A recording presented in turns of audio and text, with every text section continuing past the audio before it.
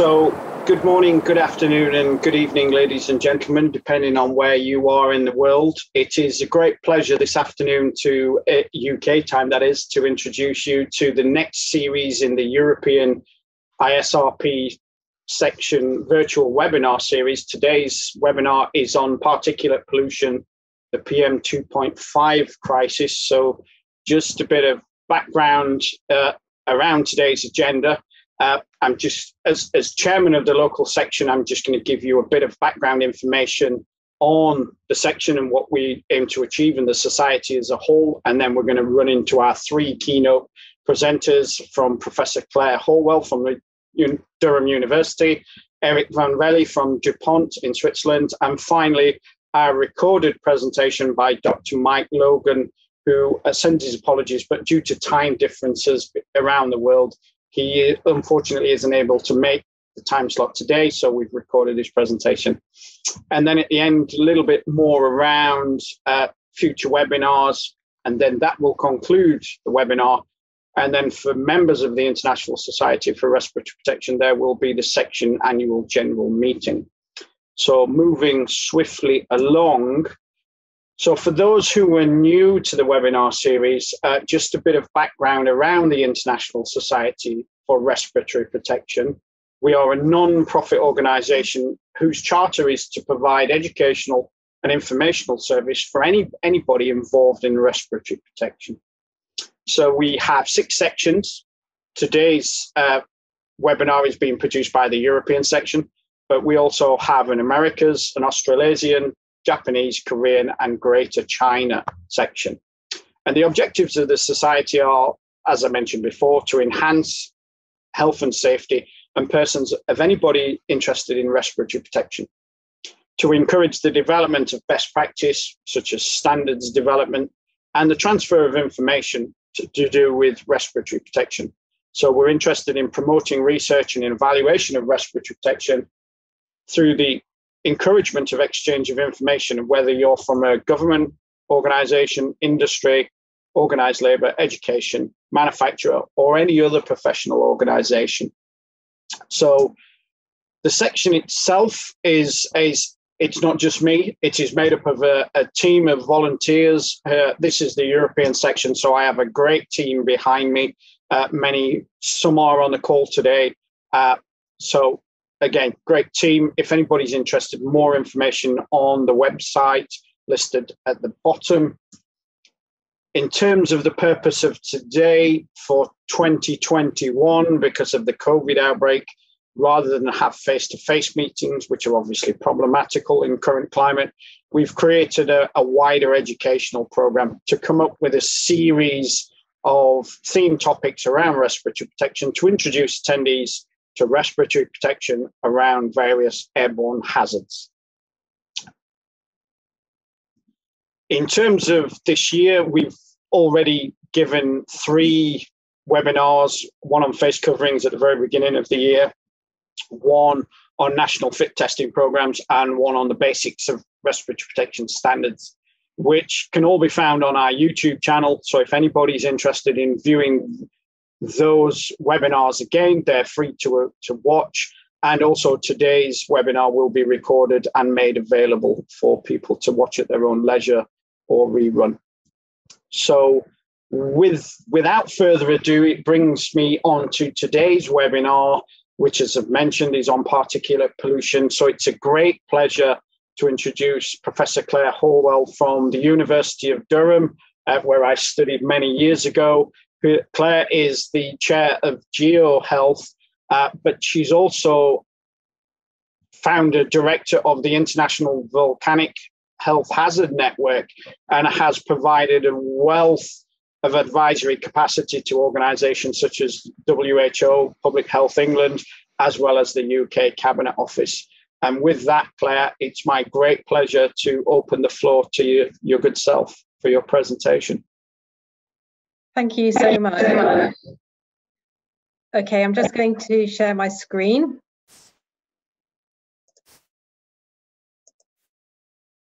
All right, can you just confirm that you can see that? Is that all good? Yep, we can see that, Claire. Thank you. All right. Uh, so I was a little bit cheeky and added uh, a little bit extra to my title because I want to address community protection in the context of particulate pollution today. Um, so I'll be taking you through some very basic information about what particulate pollution actually is, uh, what its effects are, but also how we can protect people and the public from um, these kinds of exposures. Um, so all right, that's not clicking on. One second. There we go. Thank you um, again for the introduction, by the way. Uh, that was really nice of you to do that. And I've just got a, a, little bit more information about myself here that you can read in your own time if you want. But um, I guess what I wanted to say is, you know, I, I, thought I'd give some background about why I am talking about particulate pollution. I, I am an environmental scientist. I have a PhD and a master's in volcanology.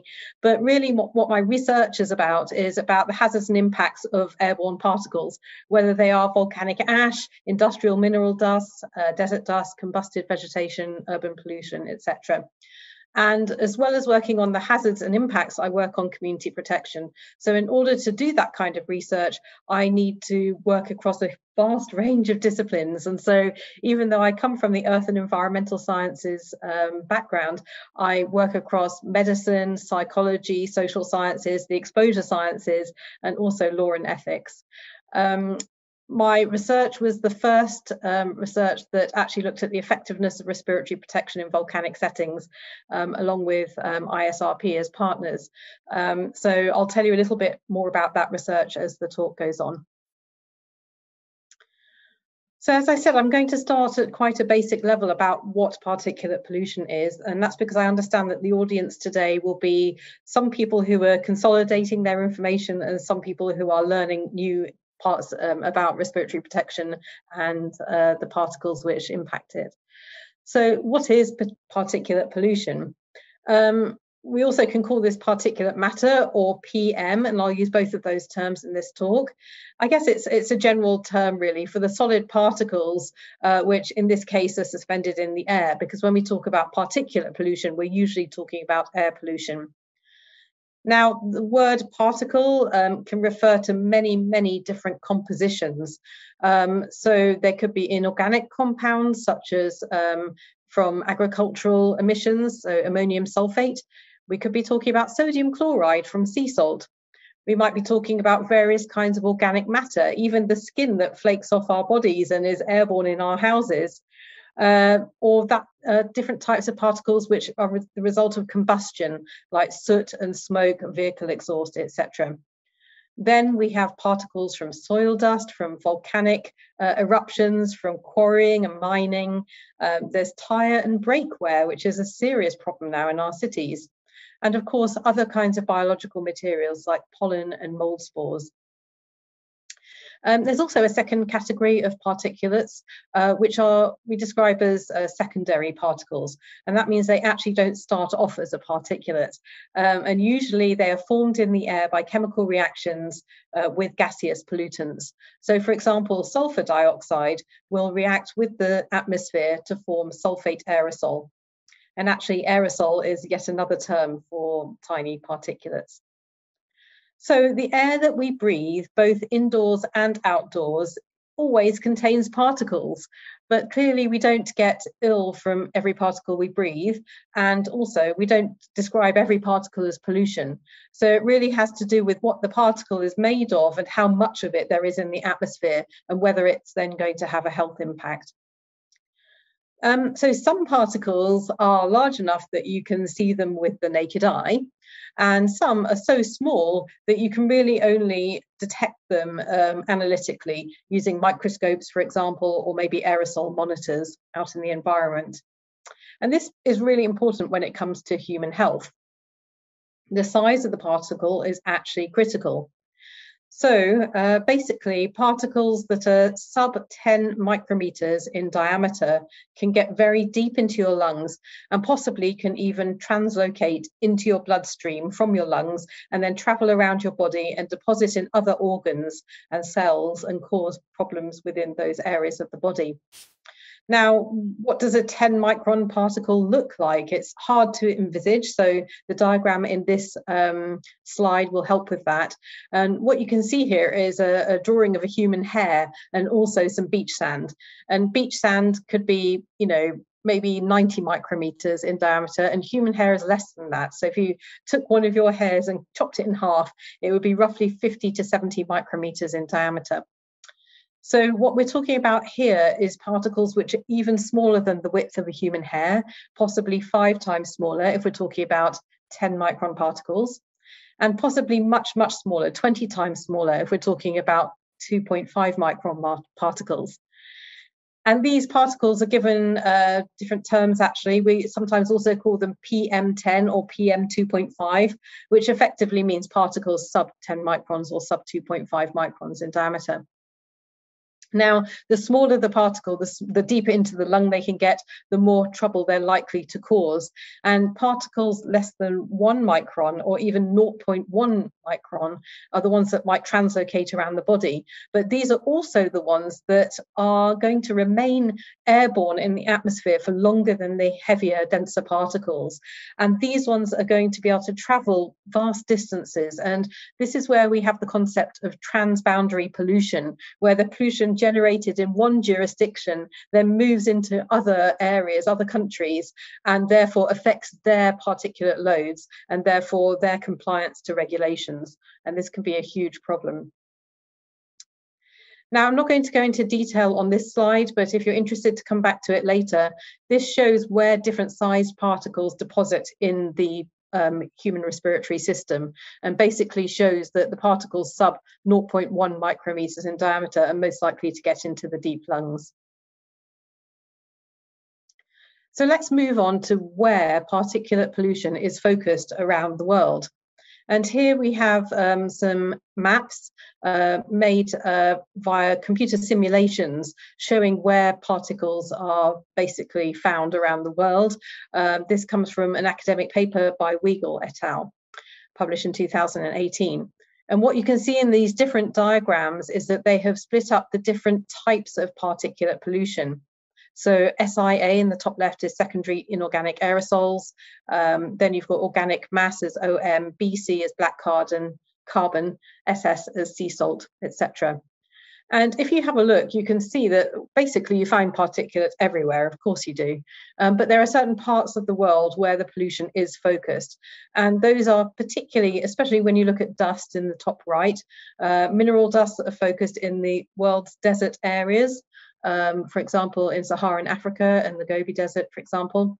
But then we also see areas of the world which are badly affected because they are generators of anthropogenic pollution.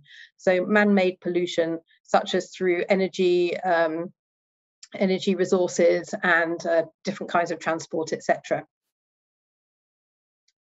And so then this uh, map now actually shows the sources of particulate pollution rather than the types of particles.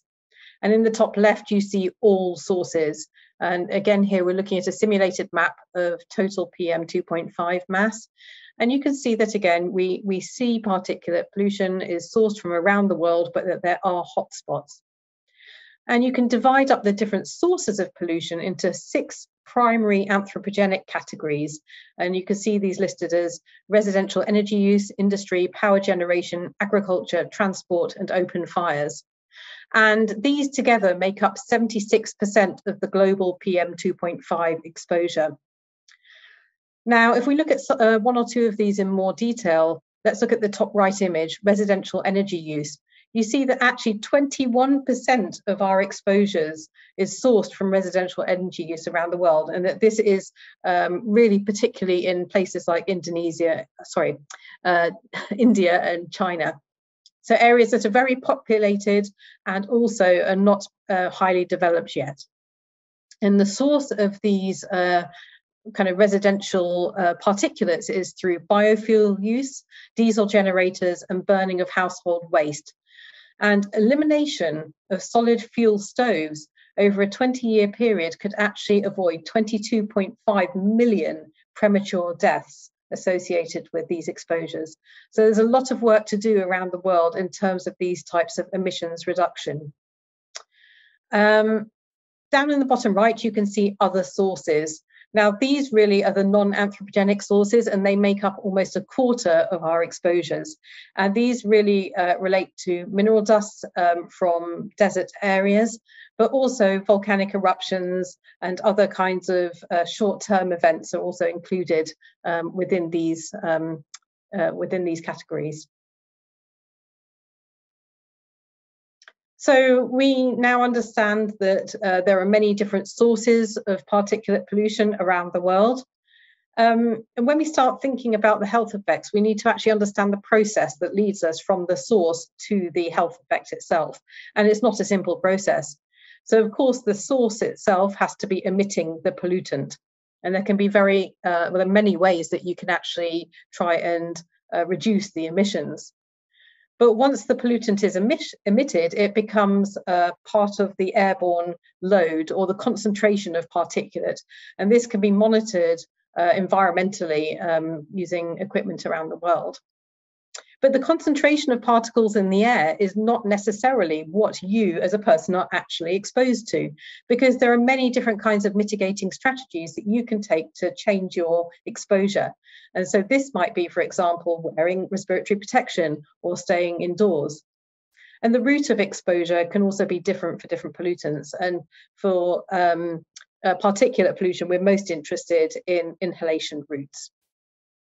Now, thinking through to the health effect itself, actually, it's not even the exposure that we need to know about, it's actually the dose in the body.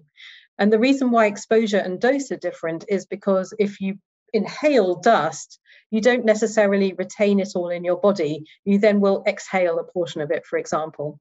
And so the dose is what your body actually retains and what it will react to in order to produce a health impact. It can be really, really hard to measure dose. And so often exposure or airborne concentrations are used as a proxy. And that's what our regulations tend to be focused on. So moving on to the health effects of particulate matter.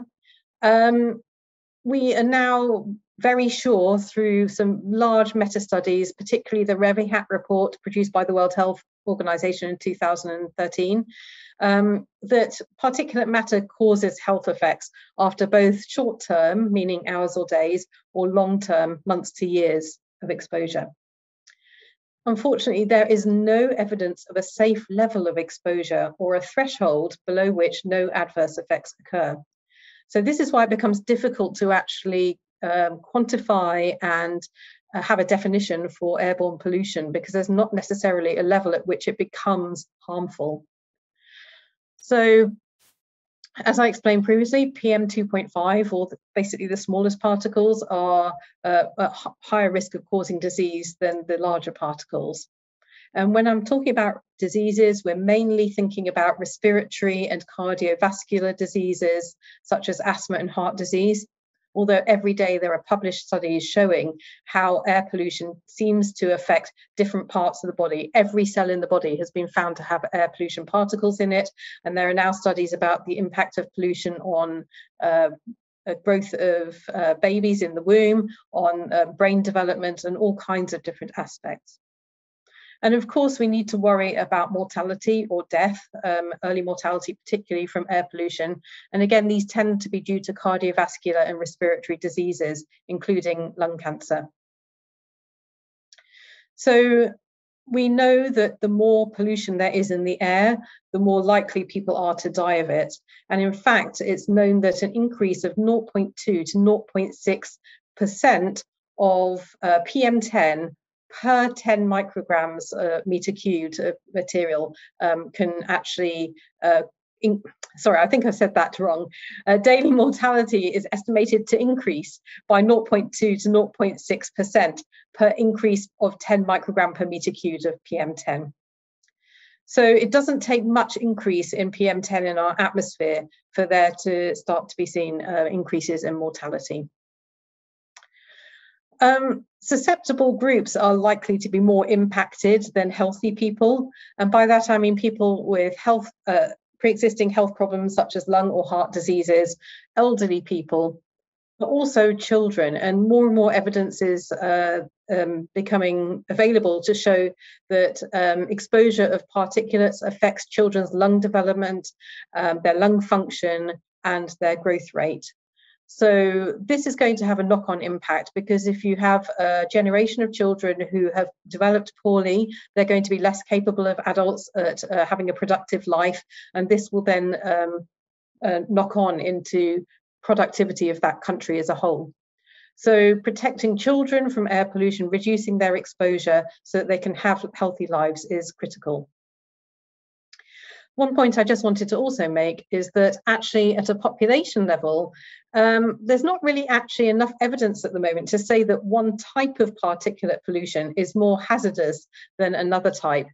Now, that might sound strange because we know, for example, that in industrial exposures, for example, crystalline silica dust is known to be highly hazardous compared to some other kinds of dust.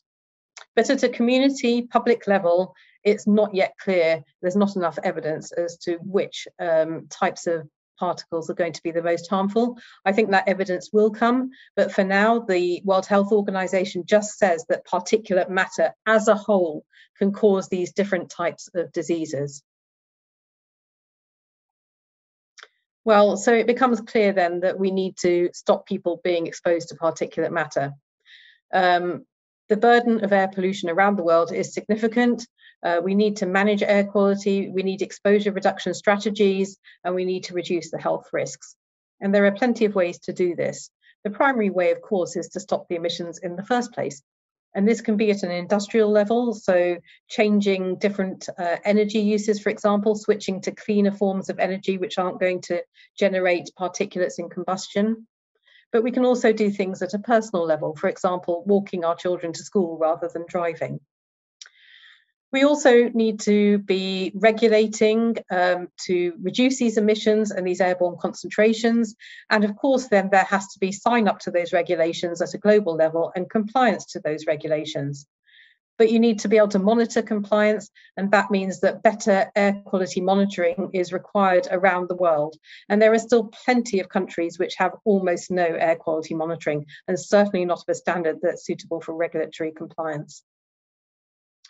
And finally, there is uh, personal protection. So actually stopping ourselves from being exposed to the particulate pollution. And we're going to just look at that in a little bit more detail. There are several different models that are used to kind of uh, intervene to stop people being exposed or to get ill or dying from different kinds of hazards. Uh, these are called public intervention models. And in the case of uh, environmental models, there are four components. There's the public themselves and the disease that they will get and the fact that they will die. And then there's what's actually causing this problem, which is, in this case, the environment. So the clinical intervention model that you can see at the top here basically is the medical model. So when uh, doctors will actually come in and stop you dying by halting a disease in its tracks, by curing the disease or you know uh, trying to reduce its level so that you don't die. um, what we're really talking about when we're talking about air pollution is uh, on a large global scale is the public inter- public health intervention model which is where we actually try and stop the environment or the air pollution from causing disease. And the way we do that as i just explained is through process controls emissions reduction and exposure reduction.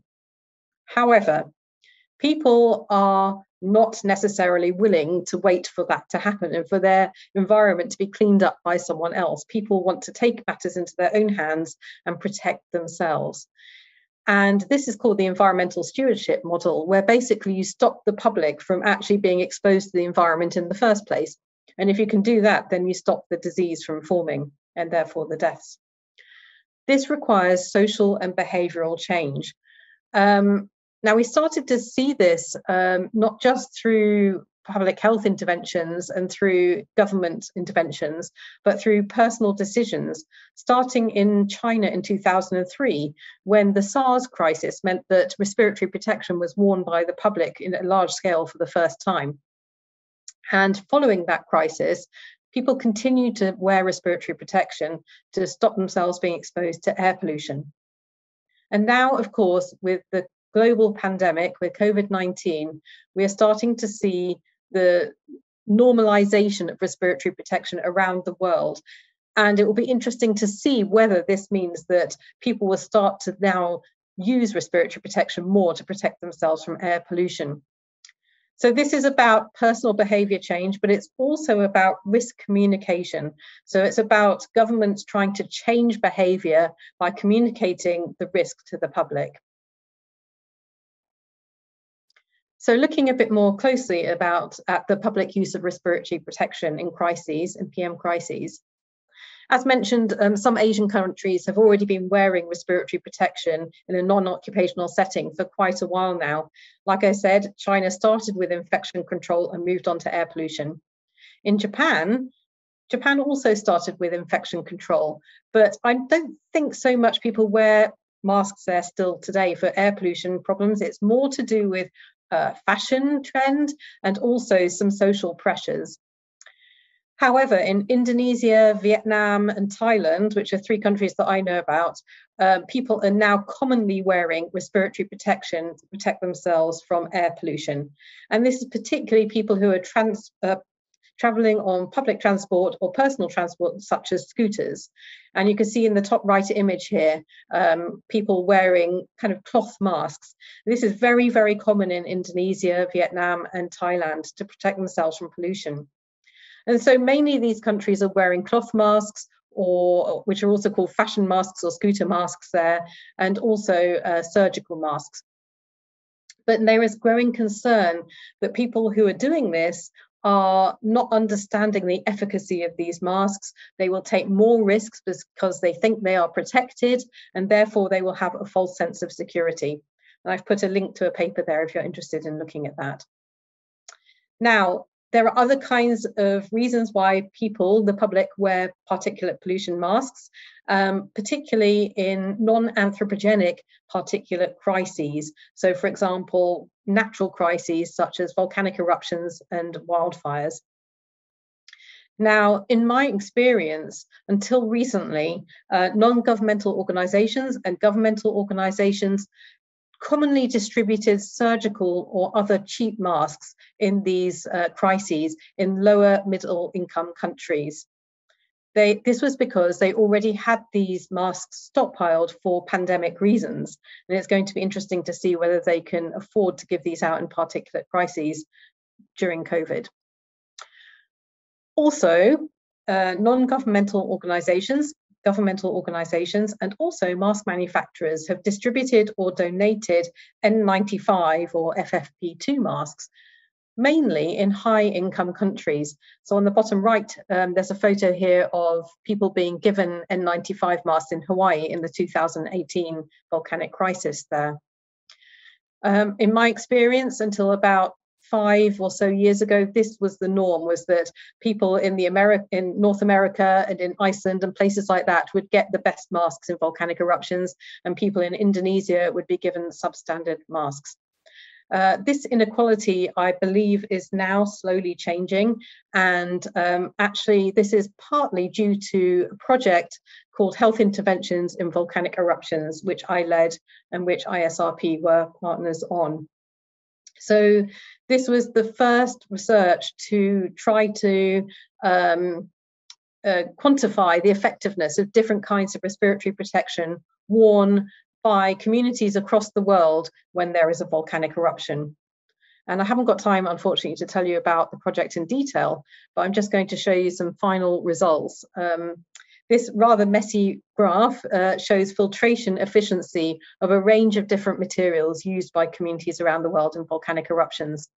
So in the lab, we measured the filtration efficiency against uh, PM2.5 particles in two types of volcanic ash and also Aloxite, which was an analog uh, dust that we used when we were next going to um, expose our volunteers. I'll talk about that in a minute.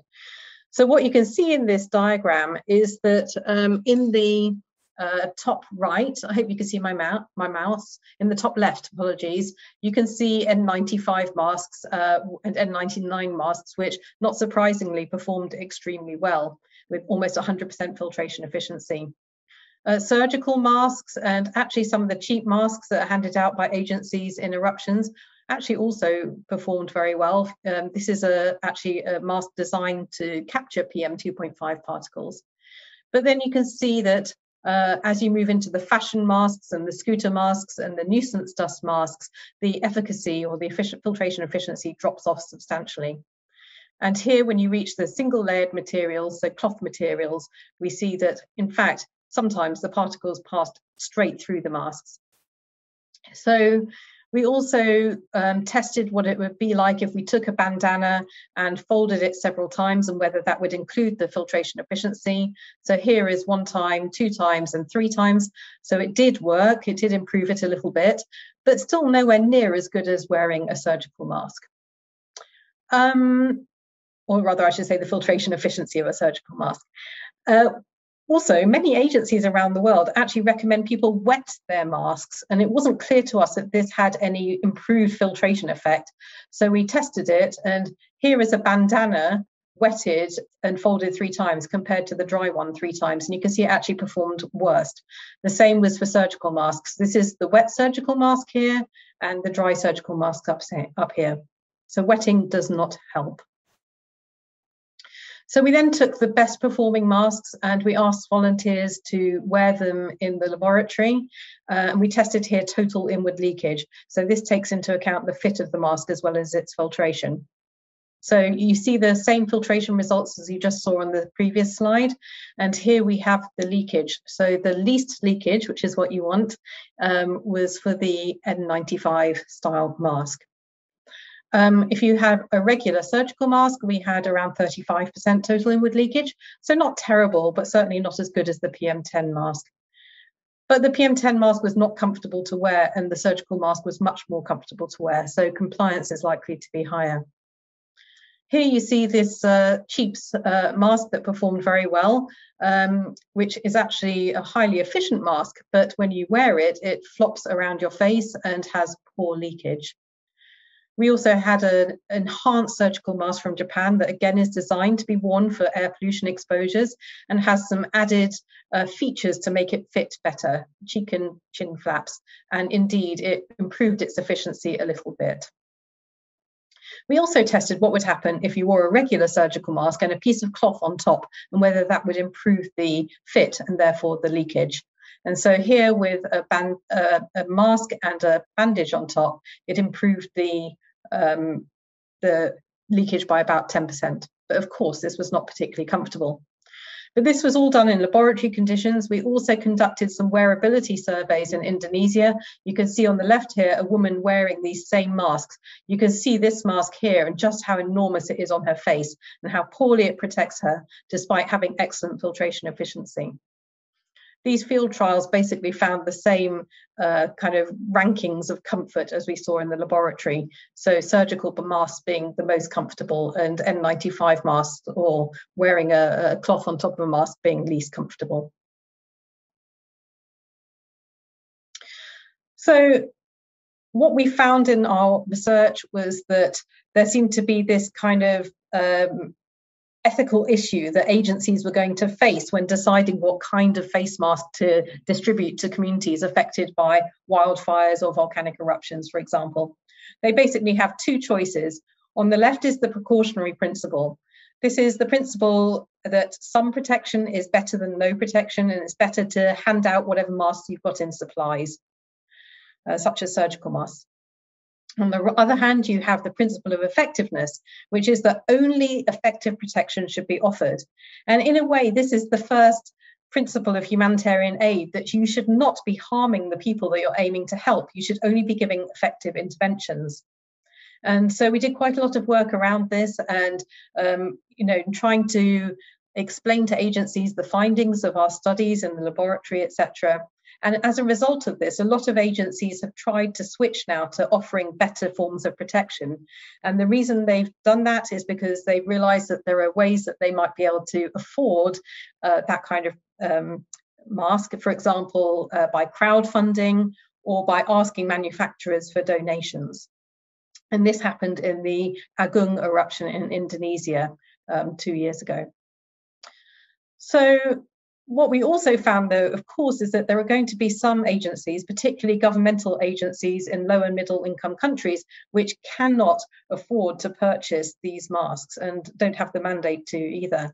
And in that case, we uh, are, are kind of uh, trying to get across the message that they must tell the people that they're providing the intervention to that this intervention may not offer them a very good level of protection, and therefore they may have to take some other um, actions in order to reduce their exposure.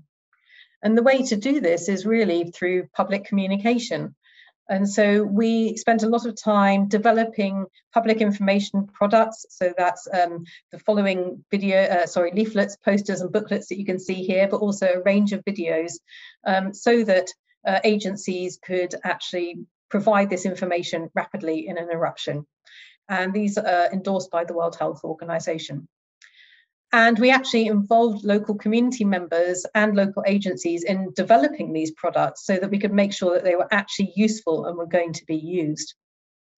The other thing that we did was make sure that people actually understood how to use these masks if they were going to be given them. And so with ISRP, we conducted a train the trainer workshop in Indonesia. Uh, we, stain, sorry, we trained stakeholder representatives in how to fit face masks, and the reps then trained each other. And so that they in turn were ready to then go out and train many more people. And now more than 1,000 people have been trained in this uh, region of Indonesia near Merapi volcano. And we'd like to be able to do a lot more of this in the future. So to conclude, I'm sure that particulate matter crises such as wildfires will worsen with climate change. We're seeing that already, it's very clear. However, over time, anthropogenic PM sources will lessen with implementation of effective emissions reduction strategies in the energy production sectors and transport. And hopefully we'll start to see this in the future in currently developing countries. But in the meantime, people won't put up with poor air quality. They are taking matters into their own hands. They want personal protection. And COVID 19 has opened the world's eyes to respiratory protection. It has become an acceptable social norm, and we can expect to see that people are going to start to wear the protection they've got used to wearing for COVID 19 for other purposes. But the problem is that we still have a lot of missing evidence about the efficacy of face masks for community use, particularly for children. Um, and it's becoming more common that children are wearing face masks, not just for COVID 19. So I have a new project called Face Up Factors Affecting Childhood Expo- Exposures to Urban Particulates, which again ISRP is a partner on, where we will be testing the effectiveness of face masks for children. But I also think that better public information is required to inform the world of the efficacy of different types of uh, respiratory protection for different purposes and the suitability of that protection for different susceptible groups. And I think this is why ISRP is so important. I think there's so much work that we can do together to try and develop these resources and try and raise awareness around the world. Thanks a lot. Thank you, Claire, for a fantastic presentation. Uh, very informative. There are just a few questions. Uh, I'm just going to start in the order that we received. Uh, so we have an, an anonymous question uh, in the chat box. Is there an actual formal de- definition for respiratory protection? Well, that's a really good question. And I, am probably least qualified to answer this on the call, I would think, because there's so many more people on the call who are experts in respiratory protection. Um, my understanding is that in industry, the term respiratory protection or respiratory protective equipment is very specific to, uh, you know, masks that have been developed for use in industry and certified to certain standards. Um, with COVID 19, all kinds of different terminology has been used with face masks and face coverings. Uh, I think there's a lot of confusion out there about which terminology to use. But as respiratory protection, such as disposable N95 masks, are being used more by the public, I think these terms are, are kind of conflating and are being used more commonly. Thank you for that. Uh, and then, then we have, I'm going to combine, in the interest of time, I'm going to combine the two and it's around your testing of, of the various uh, masks, respirators, uh, materials. Uh, and it's how was the total inward leakage measured? Uh, and and Menno's follow-on question uh, from Karen's question was the same for the field measurement. How was that done? Okay, so first of all, the field measurement was not a measurement of total inward leakage. It was just a, a social survey of wearability. Um, so in that um, circumstance, we had people uh, actually walking around a school playground when when ash was actually falling and um, wearing respiratory protection, then filling in surveys. Um, and I can the the article is linked to in my uh, talk, and you'll have a copy of the talk. Um, in terms of the total inward leakage um, tests in the laboratory, this was done at the Institute of Occupational Medicine, Edinburgh, and uh, we had a chamber set up um, which had um, uh, surrogate dust, Aloxite, being lofted into that chamber. And then volunteers went in wearing uh, protection. They were they were they were wearing goggles and everything else as well. But they had face masks on, which had had a, basically a hole drilled into the front, um, so that we could measure the um, particulate inside the mask. And then also the um, each volunteer was wearing a small uh, TSI uh, SidePak, so a small aerosol monitor on on their on their uh, waist, which had um, uh, a tube in the breathing zone, so that we could compare what they were, what was the dust outside their um, mask to what was inside, and then you compare the difference inside and outside in terms of concentration of particles. Thank you. And then just a very final question in the interest of time. Uh, how do you approach the fit testing of underage participants in your new project? Yeah, well, we haven't started the project yet. It's based in Indonesia and Nepal, and we can't go there at the moment. And our partners in the country aren't allowed to work. But what is going to happen is that we'll be using um, fit testing equipment. Um, so, uh, Coulter particle counter. And um, basically it all goes through ethical approval. The children not, are not put in uh, any kind of dangerous situation. Uh, they are in their normal environment which sadly is quite polluted which is why we've chosen those locations. Uh, so outdoors. And um, we'll be then using a, a, normal fit testing procedure to fit, to test how well the part uh, the mask fits their faces in the interest of time, I know James has asked another question. If you're happy, Claire, what we will do is further questions received, we will post them to you. And if you can answer them, and then we will post them on the website as, as answers, if that's okay with you. Yeah, certainly. Brilliant. So thank you very much for that fantastic talk. Uh, excuse me. Uh, so just moving on to our next speaker. So Hopefully everybody can see my screen. So moving on to our next talk. So Claire has, has, has given us a background information on, on the origins of particulate pollution. Now it's my great pleasure to introduce Eric uh, from DuPont Technologies in Switzerland, who is going to talk about the latest technological innovations around protecting against particulate pollution so Eric has been with DuPont for nearly 30 years. Uh, is very well known within the European and international standards committee uh, community from a protective clothing perspective. Uh, he's on various ISO, CEN, and CENELEC committees, uh, and he works for DuPont as their global regulatory affairs manager, holding a bachelor's degree in chemistry and also a master's degree in law from the University of Lucerne. So with with that, Eric, I will pass the floor over to you. It's a great pleasure. Thank you very much for the introduction. Let me try to share my screen. And please let me know if you see my screen. Yep, we can see that, Eric. And does it does it work in presentation mode? Yes, it seems to be working. Tell me if it doesn't. Um, so I'm not a specialist in respiratory protection, so um, that's not my area of expertise.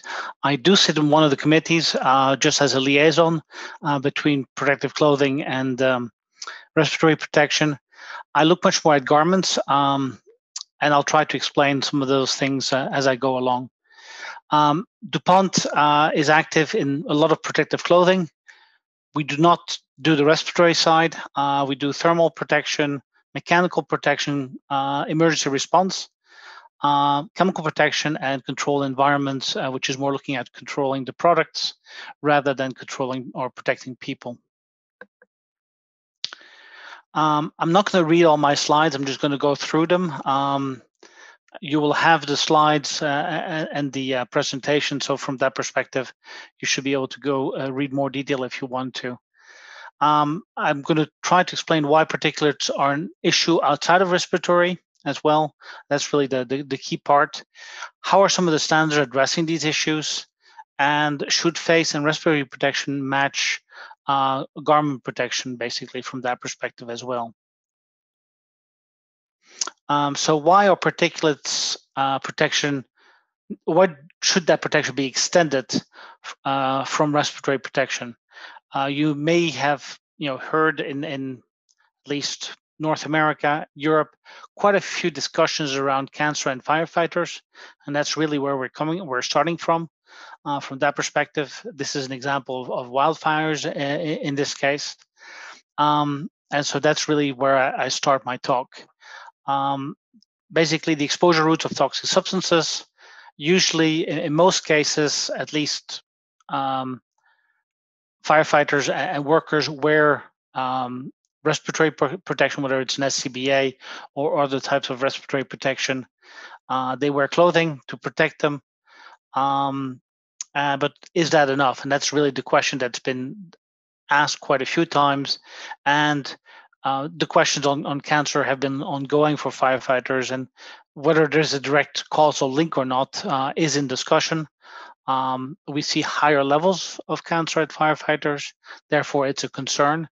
Um, yet, you can't directly attribute it uh, to one uh, one source of exposure or um, um, specific elements of that exposure, I would say. So, how can you get exposed? Inhalation, uh, that's really usually protected by respiratory protection. Skin contact, um, that's usually something that's not looked at, and you'd ex- assume that with protective clothing you'd be protected. And then through ingestion, and most people don't ingest um, gases or particulates. Uh, it's mostly then due to poor um, cleanliness of your hands and so on. That might be the case uh, for ingestion from that perspective. So um, there was a test done um, by uh, um, University of um, or with University in in the U.S. Uh, to look at skin absorption rates and protection. And so they had firefighters run through what is called a FAST test, which is a fluorescent aerosol screening test, uh, and then see where do you have deposits of different particulates using their normal protective gear. Uh, so your respiratory, the normal clothing, um, the fire hoods, and so on. And you're doing the test uh, with a wind speed of 10 miles per hour, or about 16 kilometers an hour, uh, with you know different particle size uh, particulates from 0.1 to 10 uh, microns. Uh, and then this test is being carried out for about 30 minutes. Um, so you know that being done. Uh, also, to try to calibrate that is to look at, depending on where the uh, particles are deposited, what's your potential for your skin to absorb the um, the particulates? And if you look at that, there are different parts of the body that um, absorb four times faster. For example, if you look at the jaw versus the forearm, uh, and so those are critical areas to look at as well from the absorption rates. Um, and then the question was, okay, if you're looking at the total equipment of a firefighter, can you do something easily to improve their equipment uh, from that perspective, and therefore looking at the cost of, of the various equipment. Um, from that, we started some work internally. Could we create something, to be honest? Uh, normal uh, fire hoods are usually made of two layered materials, which is basically two knits, and that protects basically the firefighter from heat. That's the purpose. Um, and if you look at the slide that I was showing, uh, and that's what I forgot to do, you saw basically here quite a lot of uh, deposit, some in the legs and some in, in the groin and wrist areas. So all areas where you would have basically overlaps of, of material. Um, and so this was being looked at. Uh, so we decided to try to put a, a, a nano layer barrier material between. Uh, there's this barrier here. And but at the same time, you need to try to make sure that basically the garment or the fire hood in this case provides you the right uh, level of, of protection. On the one hand, it's durable enough and um, it has the particle filtration that you want, but also doesn't create heat stress. So I'm going to go through some of these points reasonably quickly.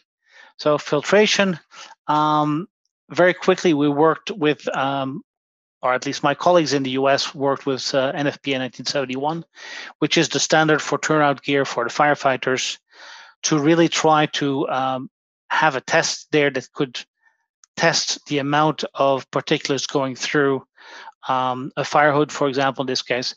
This was optional um, in the uh, in the standard, still is for the time being to see can we block something and, and what can be created. Um, we started creating a number of you know materials that could do the filtration. Um, we had a first generation, I would call it a, a quilted material that you saw in the, in the picture.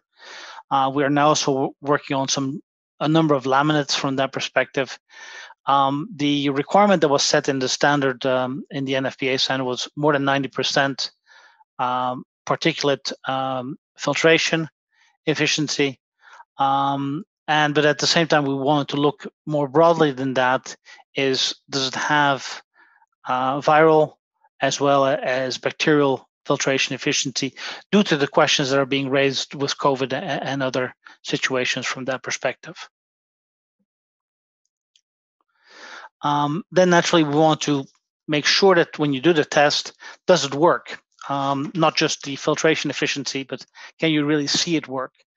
Uh, so we did a number of tests where we basically looked at the fire hood um, being tested, uh, again in, in the same uh, type of um, system, or in uh, wear trials. In this case, it's wear trials. And you can see the outside of the hood, uh, if you look at this image, uh, is blackened. when you turn it inside out, you really see that basically it looks pretty clean. Uh, if you take a traditional hood that would be constructed without the um, nanofiltration barrier, you see that it goes through.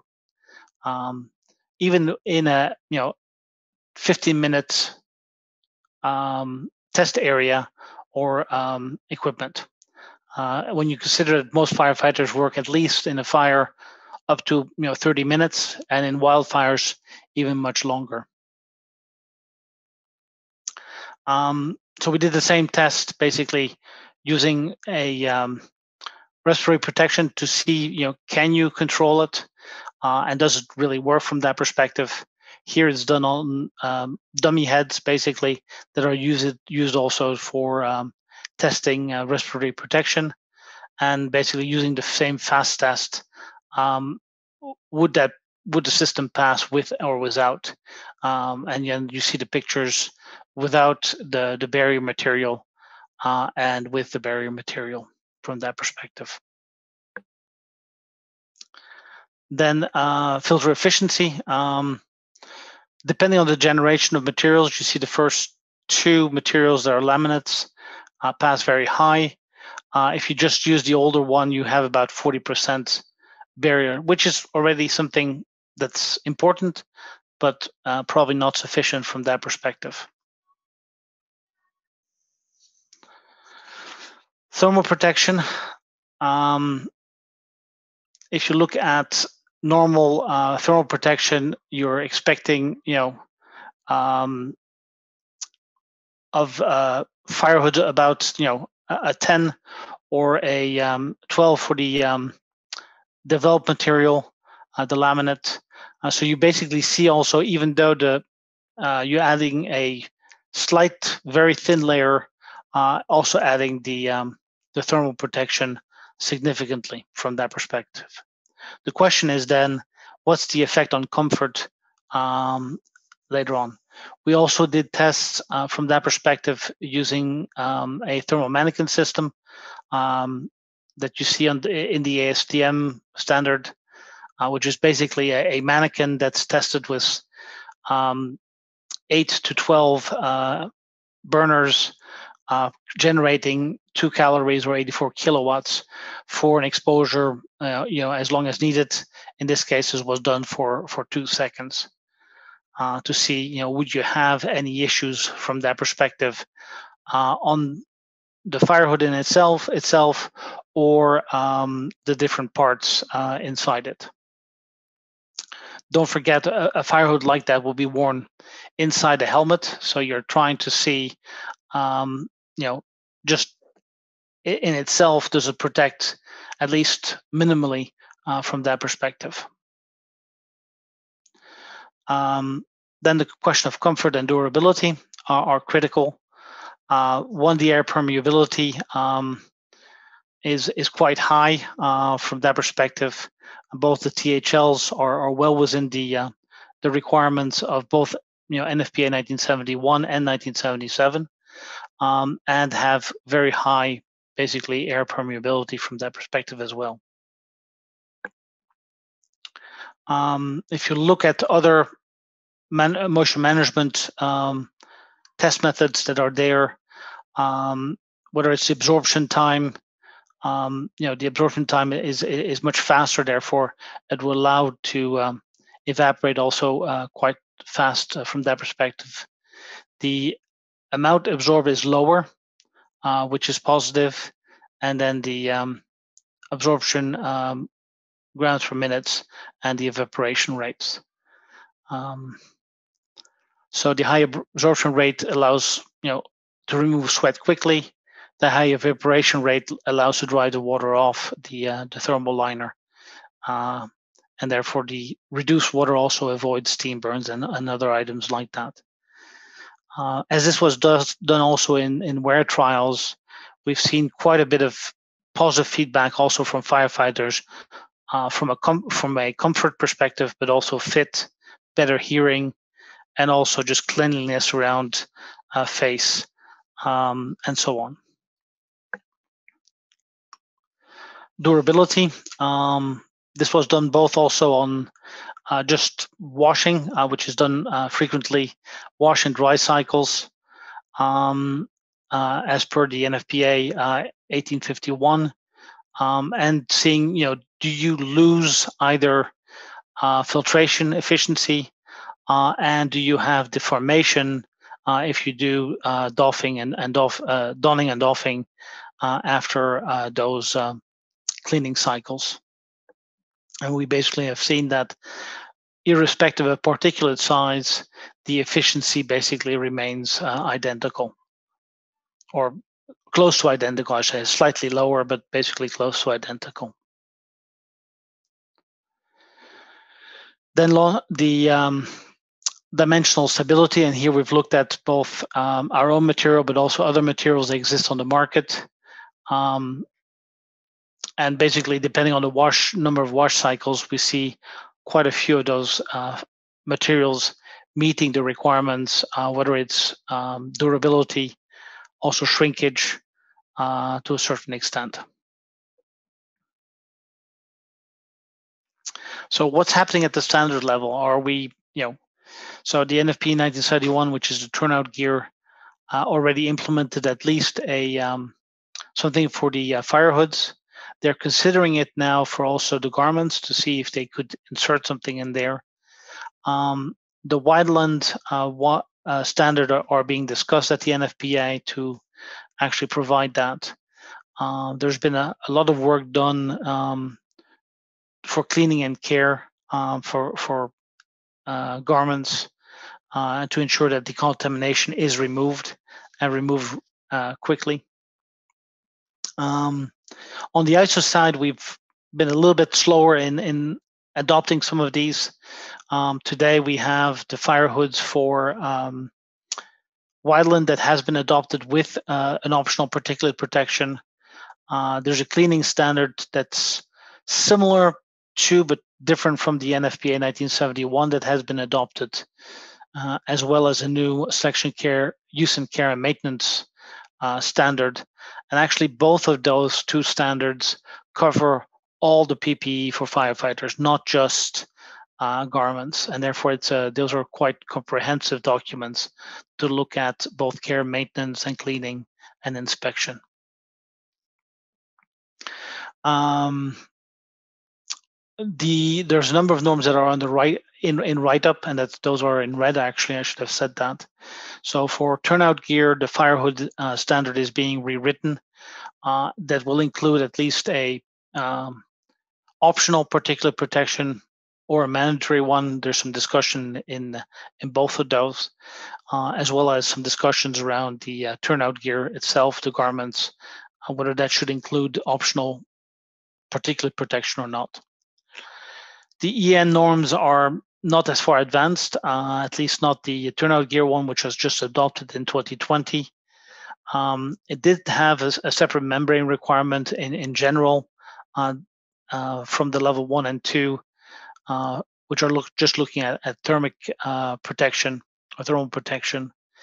And the firehood standard is being drafted to include a very similar uh, particulate protection that the uh, NFPA 1971 um, has in it from that perspective. just to talk about wildland a little bit more. Um, so the proposal that's there that's being discussed is to have 90% uh, blocking performance for the garment.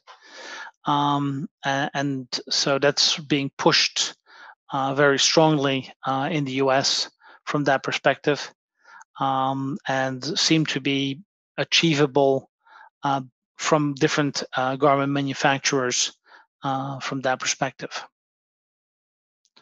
Uh, if you look at, I mean, for our products, we have the data, um, whether it's from one or the other laminate, um, the it would meet the other performance requirements that would be there, whether it's from a heat perspective uh, or from a um, tear uh, THL perspective uh, or even shrinkage perspective.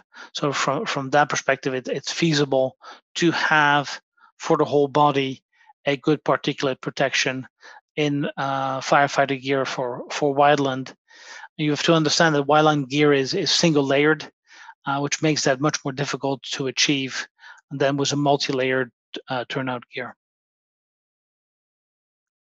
So the single layer is really again a, a, an outer shell um, that's quite solid.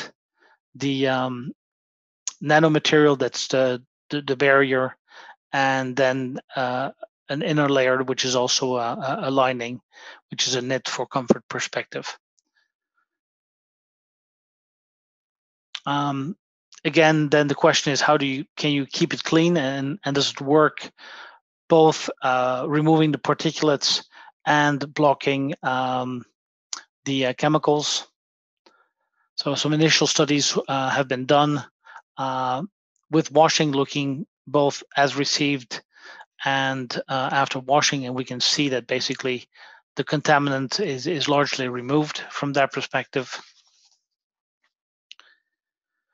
Uh, and if you look at the um, the, the, the chemical side, um, if you look at it, um, the major chemicals, they are either they are non-detect uh, going uh, once laundered, basically all of it is, is el- eliminated.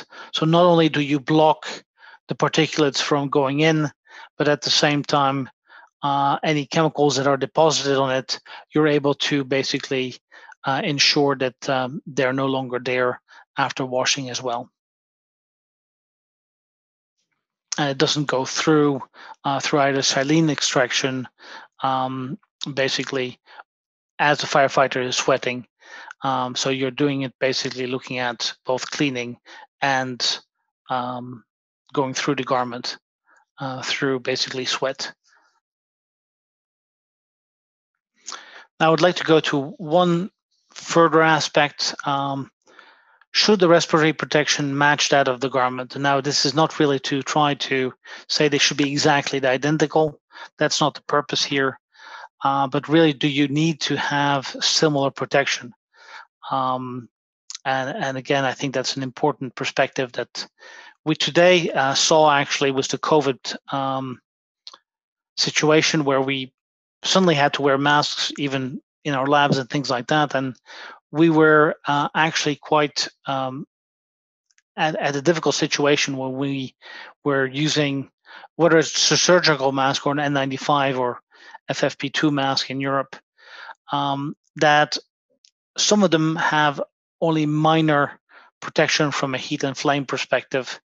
Uh, that's not their purpose either. From that, uh, for that you frequently have either SCBA's or or, or um, greater uh, RPD um, type um, protection. And the social distancing masks really had no requirement whatsoever uh, from from that perspective.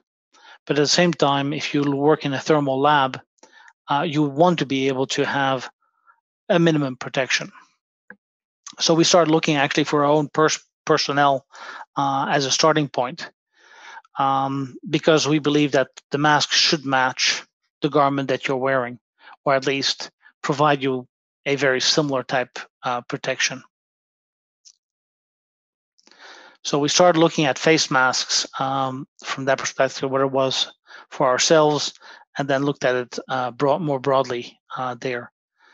And so we started looking at, you know, what standards could we use to basically do some testing, uh, both the NFPA 9, uh, 2112, uh, or I would say the close to equivalent ISO 11612, uh, and the ASTM 15026 or the ISO 13506, which is the thermal mannequin test, would be good ways of testing uh, these types of, of masks to see, you know, would it work? And we decided to do some tests from that from that perspective, uh, looking at um, a Nomex mask uh, that provides maybe not 90% uh, protection uh, for for uh, particulates, but close to it. Um, and then you know, could you use an existing um, face mask from for with carbon filtration, or could you use um, water-resistant face masks that are uh, on the market? And both of them actually cause a number of problems. One either because they burnt or or melted, um, or basically uh, the elastic bands basically dropped off.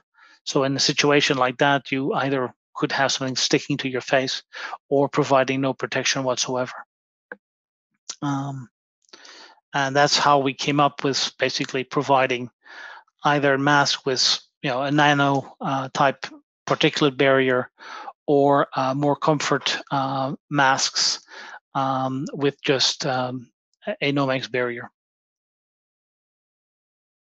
And thank you for your attention. That's fantastic, Eric. Thank you very much. That's uh, for me, that's a great overview of kind of how important a PPE ensemble is, including the respiratory protection, because it's not just your airway that could potentially absorb contaminants that could cause physiological harm. So, no, that, that was fantastic. Thank you. Uh, and maybe just the last parting shot, I forgot to say something, but um, if you look at wildland firefighters, they don't usually wear respiratory masks. And I think that's one area where more work needs to be done from that perspective. Yeah. Uh, and it's interesting to see, especially with Claire's talk about how face coverings were predominantly previously looked at from a SARS, from a, a biological disease perspective, but now they're being looked at for firefighting examples, uh, etc., potential in, in hospitals and hotels uh, for, for fire applications, for, for egress. Uh, uh, and I'm just sorry, I'm all fingers and thumbs today. So, uh, just one question on the on the chat box from Mike Williams. Uh, presumably, presumably the evaporative heat loss is by diffusion. Yes, I think so. if I'm thinking of the test, yes, I think so. Yeah. Okay. Thank you. Uh, and there are no other uh, questions in the chat box, Eric. I think you've you've stunned everybody into silence with such a great talk. But that that for me was great because it, again, as I mentioned, it shows the the overlap between respiratory protection uh, and kind of the more apparel ensemble style, which is just as important when you're considering working in these other environments. So thank you very much, Eric, with that. Quite welcome. Great talk. So thank, thank you, you for the time. So then moving along to our final presentation for today's webinar, which, as I mentioned previously, is a recording uh, from Dr. Mike Logan, who unfortunately can't join us, mainly due to the time difference between uh, Central Europe and Queensland in Australia. So Mike has kindly recorded this previously with myself and, and Michael Parham. So Dr. Mike Logan is the Director of Research and Scientific Branch within Queensland Fire and Emergency Services. If my sorry, gone one too far. Uh, so Mike is is a very senior officer within Queensland Fire and Rescue Services. They they cover a huge area, approximately 1.7 million square kilometres, and they've got more than 40,000 volunteer and employed staff. Uh, so Mike is is one of their technical leads. Uh, he's got a wealth of background in wildlife, wildfire determination research, and also mitigation procedures. He's also done a huge amount of work in CBRN within the Australian government. Uh, so he's very authoritative in some of the things that Eric was just talking about in terms of, of mitigating wildfires. And with that, I will pass over to Michael Parham, who is our IT expert on, on the webinar, who will now run Mike's presentation. My name is Mike Logan. I'm with the Queensland Fire and Emergency Services. I run what's called the Research and Scientific Branch. I will give you a little bit of an idea about what we actually do as we come over the next few slides. You can see on the page here a couple of images of some of our response vehicles. But today, what I'm going to talk about is what does science have to do with protecting firefighters? And I want to give, when you when we finish this presentation, I want to leave a couple of challenges to the audience, but also leave the audience with some idea of what we actually do, both operationally and in a research sense, to improve our understanding of exposures to firefighters, other emergency responders, and the community and we're going to focus with two snapshots today. Um, and hopefully that'll give you an idea of the breadth of the work that we actually do. We're going to give a little insight to some work we've been doing with urban firefighters on understanding their exposures and also some work we've been doing on wildfire fire, fire, firefighters, which for us is typically we call bushfire uh, firing, firefighting, and looking at their exposures with the clear aims of understanding what that means and what we can do about it. And then we'll give you some insight into what we're doing with this. But as I said, I'm then going to pose some questions to the audience, both um, researchers, operators, and manufacturers, to think about how we can improve this into the future. And we'll give you a couple of hints on um, some other work we're doing as well. So um, as you go, go through, we'll have lots of pretty pictures. Now, to give you an idea of who we are, Queensland Fire and Emergency Services, our response area is about 1.7 million square kilometres. Now, in most terms for Americans, that's about one third of the United States. For Europe, that's basically all of Western Europe and some, including Brexit uh, or the UK. Okay, we have about 242 urban stations, more than 1,500 rural stations, as we call them. We have what's called um, state emergency services and volunteer marine rescue and all that sort of stuff. We have more than 40,000 staff and volunteers. So we are a very large agency over a large geographical area. Okay. The drawback is we only have about 5 million people in our state. Okay? But we respond to more than 70,000 incidents a year. We almost have seasons where they get bushfires or disasters for cyclones.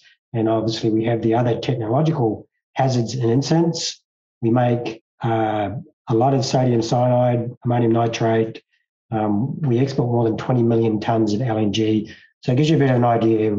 Um, we have a lot of interests. Okay.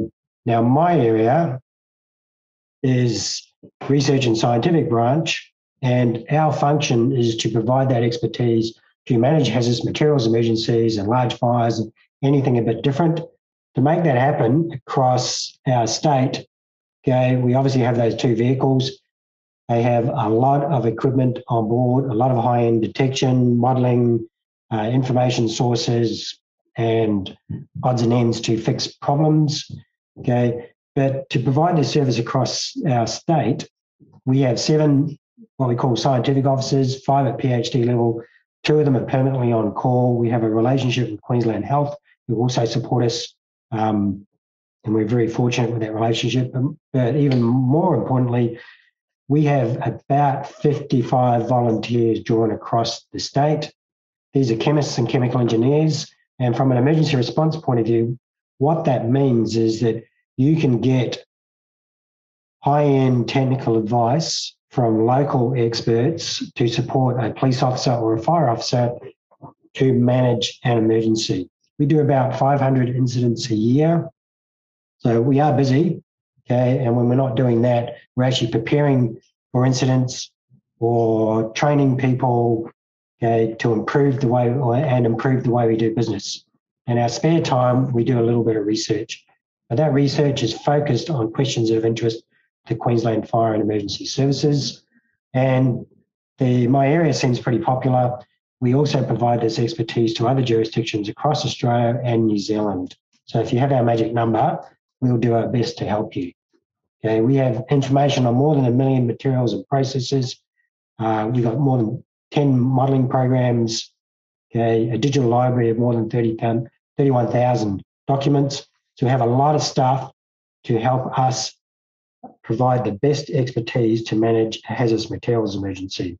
And we'll give you an example of that as we go through um, the session from that as we as we work through. Now to give you an idea, you know, on our resourcing and just what that means for over this huge geographical area.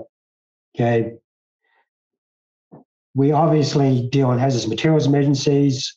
We are, in many respects, quite a sophisticated user. Okay. Um, I've just given you outlines there of the sort of stuff. Um, we have various types of chemical protective, biological protective clothing. Um, some look like moon suits, some are pretty much people would refer to as a raincoat. But today is more about respiratory protection. Okay. We have more than 200,000 items of disposable respiratory protection. Um, they obviously have very focused uses. And, and unfortunately, in today's world, um, there's a high demand for some of that sort of stuff. We have more than 10,000 full face respirators. And as I explained, the rural side of the, the research, we're likely to end up with about 18,000 full face respirators in, in, in, our agency. So for a fire service, that's uh, rather unusual. But other than SCBA, which we have about 4,000 odd of those, okay, full face APRs and PAPRs, we have a few hundred of them, okay, are a key element in our business. Now, full face APRs by themselves sound really nice. It's the logistics and the training and the decision making that really comes to play. Why are you using them? Where do we need them? How do we train people? How do we make sure fundamentally this stuff is available 24 7? And of course, part of the other element to this in terms of capability maintenance is canisters. So we own tens of thousands of canisters. We're starting to turn them over. Okay. Now you can't use respiratory protection realistically if you cannot detect and quantify the hazards that confront the operators. And, you, and I think you can start to see why we have quite a strong scientific support for hazardous materials We own more than 3,000 detectors, okay, of various types. You know, the very simple CO detector to high-end field portable GCMS type instrumentation, okay, or gas phase IRs, all that sort of stuff. And that is all about us bounding the problem at an emergency um, as we go through. I have my own technician who just looks after det- detectors. Okay, we have a very large maintenance and servicing operation within our organisation. Um, fundamentally, risk prote- protection is one of those things that has to have a zero failure rate. So we invest an enormous amount of time to make sure that happens. But why do we do all of this? Okay, that's fundamentally what we're here today to talk about. It's about a safer community. Okay. Ideally, I I want to be all dressed up and nowhere to go, so I have no emergencies. The reality is that's not going to be the case. We do have emergencies that we must confront and manage to protect both our responders and the community and the environment. Okay. But I don't want to be in forever in the reactive space that I confront a problem they've got to think about. I want to get into the predictive space. Okay. So part of all of this understanding exposures of firefighters and the community and other responders across the operational context that uh, we encounter is to start to predict likely exposures of firefighters in the community. And this is where this research starts to come into play. This is not a fundamentally one-dimensional problem. Okay. Not everyone is at ground level, not everyone is immediately around the incident or in the center of the incident. So we've got varying degrees of exposures at either ground level or for a firefighter, they may be in the air. Okay. Plus, we have those exposures in what we will call that little red box, the, the fire ground itself, okay, or the the incident hot zone. Then we've got responders around the edges, and then we have the community. Okay. And we have to understand what all this stuff means. The aim here, as an example, is if we said this was a carpet factory or a warehouse, and I get notification that it has been involved in a fire, I want to be in a position where I understand what's burning, what is it likely to produce, what are the effects of our extinction or extinguishment processes are going to be on that fire, the likely duration and spread of that fire, coupled with the, some of the building characteristics and the environmental characteristics. Okay, if I understand what's going to be made, the likely concentrations, and if I have good criteria uh, about what that actually means to me, I can then start to look at how do I manage this incident even before I've actually got there. So, what sort of respiratory protection will I require for whom? Is it suitable, not suitable? Duration of its use? How do I manage the zones? What will that mean to the community? Can we shelter them in place? Do we have to evacuate them? Okay, are they at risk? Are there specific areas of the community that are more at risk than other areas? What does that also mean to responders who are going to work around it? Quite commonly, as an example, police officers will do traffic control. Some of them may actually be downwind. So, what does that actually mean? So, I want to be in a position where I get that notification of the incident. I can predict all of this. Okay. And I will say, based on this, the snapshot of research we're doing, plus a whole lot of other stuff we've been doing, we are a long way on the path to doing that. It won't finish. It's a journey. All of this is a journey, but we are on our way. And that, I hope, We'll give you a little bit of context of partly why we look at all of this, this stuff.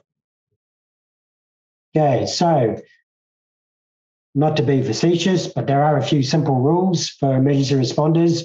Okay, we want you to go home uh, every night. We want you to enjoy your retirement. So, rule one for all emergency responders: you must protect your lungs. Okay, now there's a simple way of doing that and that's don't be there. Okay. Time, distance, and shielding, whether it be a biological agent, chemical agent, whatever its origin, maybe from a fire or a spill, okay, or a deliberate release. Okay, but you apply those simple principles of time, distance, and shielding. Unfortunately, they're administrative controls. So if you look at the risk control hierarchy, we're actually playing at the back end, not at the front end. So the elimination we can't do because we didn't cause the problem. Okay. But we can start to look at some engineering controls and those sorts of things. Um, but fundamentally, when we first turn up to the incident, we really only have administrative controls to get things going. Okay. Next step is if I can't be there, then I need some form of rescue protection. Okay. But we need to do that in conjunction with air detection. Okay. And we also need to appreciate the purpose of whatever that respiratory protective device is, its limitations, but also the operational environment. Okay. Now, otherwise, if you don't have a principle and a deep understanding of all of this, then you're going to apply some simple rule-based uh, approaches, and you do see that. Okay, firefighters, well, to most jurisdictions, or uh, including ours, okay, if in doubt, we'll go to SCBA and then work backwards from there. The next issue for us, okay, is now if we protected our lungs, is we've got to protect our skin. A lot of these contaminants, and it really has only been in the last decade that it's really come to the fore for firefighters, and, and is many of these contaminants can deposit onto your skin or your clothing or your accessories and become available to eventually get absorbed through your skin. Okay, now, rule three, if you ignore rule one and rule two, rule two, you could be in big trouble. Okay, and rule four, which is what mum always told you to do, stay clean. Okay, just because you're going to an emergency doesn't mean it's an excuse to get dirty. It might be fun uh, sometimes, okay, but the rule of the game is to stay clean, protect our lungs, protect our skin. And it's about how we do that. Okay. So if we know the rules, then we got to think about how does it get to us? Okay. So we want to understand that exposure. Okay. And this is how we're going to lead into the little snapshot about urban firefighting and then on to our rural firefighting from that perspective. So we need a source, Okay, as I said, fires uh, are very complex. You've got products being generated, you've got a distribution of these products. It is not a simple one dimensional problem. It is a time problem, it is a geog- geography problem coupled with a fire behavior problem. So you're going to put all that into play. Okay. So the important thing is if I'm characterizing the exposure of a firefighter, I'm not necessarily characterizing the fire environment. And I'll explain that as we go through. So I can measure stuff being generated in smoke, but that's not necessarily what the firefighter has been exposed to because of their practices. Okay, because you, when you add heat, you can cannot stand up inside a fire very well. You've got to stay low. Okay, so there is that even that spatial distribution of products and heat from that point of view. So we can characterize the firefighter uh, smoke environment to an extent, but what we're interested in is characterizing the smoke environment to which the firefighter is actually exposed to. Okay. Then, if we know that, we want to know what that exposure means to them. Okay. And we also want to look at what do their work practices do to their ultimate exposures. Okay, because then that then influences operationally our selection of respiratory protection, our selection of skin protection, our selection of decontamination strategies or health surveillance, all of those things from there. So leading on with that, we get into the fun part. Okay, so urban fire exposure. So we've been doing this for a, a, a long time. Okay. Now, there is a global concern within the firefighting community, and it has got stronger and stronger. Okay. And one can argue that it might reflect several factors, but fundamentally, as our workforce becomes far more educated, they start to uh, appreciate the complexity of things that get generated and the things that they are actually exposed to. And like everyone, they get rightly concerned about what does it actually mean to my health, both immediately and in the long term. Okay. So there is a huge volume of work now going on about understanding firefighter exposures and decontamination and all that sort of stuff, particularly with their protective clothing. But we can relate, we're going to relate that to SCBAs and accessories from that point of view. But it's important to realize there is a global concern. It does not matter whether you're in Sweden, United States, the UK, or Australia. Firefighters are, are asking a lot of questions now, which is a good thing. there may not be a lot of answers at the moment, but hopefully I'm going to show you we've started to get some of those answers. So what did we do? As I said, we've been doing this for a long time. We've got a lot more sophisticated, but fundamentally, when we started this, there was a lot of information about uh, heat protection from clothing and, and obviously the, the use of SCBA from that point of view. But there was really very little information about what firefighters were exposed to during uh, their activities inside a fire, okay, and whether those activities made any difference and the tactics and all that sort of stuff. So we wanted to know what was the fire ex- a firefighter exposed to, and we looked at this for, in a couple of ways. If you think about it, the firefighter, we measured their exposures outside. We measured more than 140 chemicals. You can see the sorts of things um, on the slide there. Okay, we're very interested in PAHs from, from a skin perspective.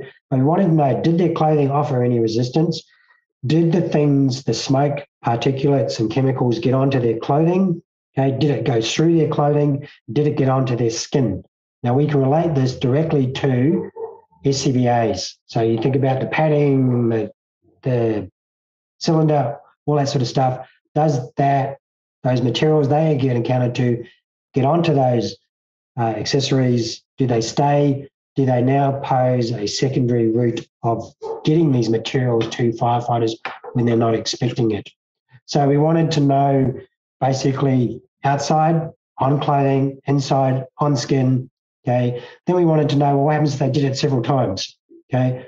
What happens if they just took their clothing off? Did the stuff come off? Did it become available for them to breathe or touch their skin, etc.? Okay. Was the skin a significant entry route? Okay.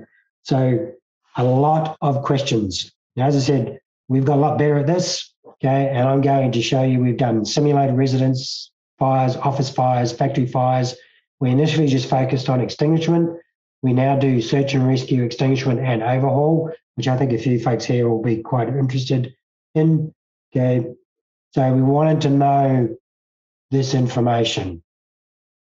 Okay. So what did we do? We did a, a mixture of real-time measurements and sample collections for laboratories.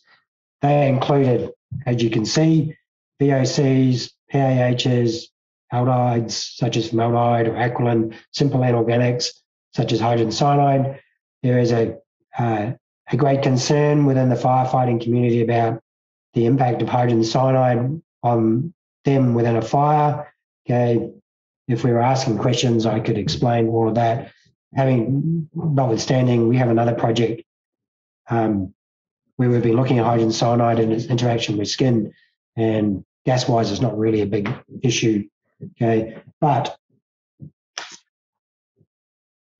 our, our list of contaminants that we can look at is almost infinite. Okay, but we have to prioritize. Some of it's the laboratory being able to do stuff, some is being able to measure stuff realistically. Okay. The, the key element here is this this sounds really easy to do. Just go and put a bunch of stuff on a firefighter and let them let them go in and do their job inside a fire. Okay. It's not that simple. Okay. This is a really harsh environment. If you think even about passive or active air samplers, okay, will they even work? So can we believe the result that we get? Because these things are not designed to generally work where they're exposed to air that may be a few hundred degrees. So, and if you're relying on absorbing materials, do they actually absorb? So we had to think about all of this. You know, what were safe sampling volumes? Could they work, not work, etc. And so we ended up going with a, a multi-phase approach, taking snapshot air samples for a lab as well as doing this, this uh, sample active and passive sampling okay, on the firefighter. We also had to be mindful how we attached it to the firefighter. Okay, they are going into a fire. Therefore, if it goes wrong, the last thing we want to do is have equipment on them that's going to impede their ability to stay safe or actually do their job. Now, we were very fortunate. We have a training facility where we are training firefighters all the time to work in fires. So we have access to, uh, in many respects, other than setting up real fires out in the community, a facility where we can actually set up as close as we can to how they will approach it in in the real world. Okay, so and I'm going to talk about um, as a result some industrial fire, but we need to just ex- understand what that actually means. So an industrial fire from, from in this context of these experiments was we set up an IBC, which is a thousand liter container. We put about 150 liters of diesel into it, and we had it onto a spill pad. And that spill pad was so when the IBC broke and the fuel uh, flowed, burning, okay, it would also hit some other products, but it would not spread out across the floor and get the firefighter. If if you can imagine, and you see pictures of people at fires where it is there is no visibility inside. If we have a running spill fire on top of the firefighters, this is not going to be a very successful experiment. Okay, safety is the key on all of this, and to make it as realistic as possible. So we did a few experiments just to make sure that the volumes and all of those sorts of things that there's no way it could actually go wrong and that the fire itself wasn't actually too hot that the firefighters would not actually go in. So there's a lot of work with our uh, training area to make sure that it actually worked. And that now is actually a scenario that we use for training firefighters okay so but we're not going to focus on skin today what we're going to do is really focus on the risk respiratory protection side of it so as an example of the results so Here's an example of that industrial fire exposure. Okay. Uh, the graph on the right is average PAH concentration. Okay. So we've summed up the 28 odd PAHs we looked at. Okay. And this is outside and inside their protective clothing. Okay. And what you can see, there, there are two key elements to this. One is their exposures are enormous. Okay. And I think people also need to appreciate their exposures. These exposures are not being incurred over eight hours or 10 hours. On average, a firefighter will spend less than 13 minutes in SCBA in a fire. This is the same here. So when you're looking at these exposures, um, and some of the values are, are quite high, even for individual chemicals, they're over very, very short time frames, coupled with heat and the elements of the firefighter themselves, their exertion, okay, the heat stress, all of those things, they start to add up. The other element you see to this is that um, notionally search and rescue has a higher exposure than extinguishment. But when you actually look at the, the bars okay, you really cannot tell too much difference between them. Now, search and rescue is when a firefighter goes in to look for a, a person who's missing. They will take a hose line in with them. The rules are if it gets too hot, they need to put the hot water on, they'll go and put it on. Extinguishment, obviously, is they're going in to extinguish the fire. Okay. When we looked at this, and the variances are huge, okay, between uh, firefighting teams. Okay, now these teams are allegedly doing exactly the same thing inside. Okay, now I used to complain to our instructors that when we were doing the original work, that we would get a three to six fold difference. And from a science background, it's like that really sucks. It's, you know, it's not great. And I, I didn't realize now having seen these results where the difference between the highest and lowest exposure was over 200 fold. Our instructors are actually very uniform in their approaches and very, very good inside these fires. Okay, what those differences tell us is that the way people act inside is probably going to be the biggest predictor of their exposures, which then leads into a whole bunch of other questions. Are the tactics that firefighters are applying inside fires the best for those particular circumstances? You also note that there is a huge difference between what's outside their clothing and inside their clothing. Okay. And you should also note that for overhaul, there's almost nothing. Okay. But from the firefighters and particularly fire investigators, they get very concerned about overhaul. Okay. And one of the reasons is that often all the respiratory protection comes off, oh, the fire's out, we're all okay. Well, what we show very clearly that's not the case, but we now have a, a, a a situation where we can understand the exposures and then start to go, okay, well, what forms of res- respiratory protection actually are required? Less than 99% of the generation rate for PAHs occurs in an overhaul compared to obviously when the fire is going. You will see some because there is still some smoking going on. Okay. Now, the other element to this, and as I said, these are just snapshots. We have shown that these materials do deposit onto the skin, okay, which was not known previously, including benzo[a]pyrene. So the skin is a viable entry route that needs to be protected. Okay. But on the left, there's another graph that shows you the PAH concentration, the airborne PAH concentration, and this is just the, the low end ones. Okay. But also it shows you the deposition of these same materials onto their protective clothing. Now we have done this for other accessories and we have cut up SCBAs at various times.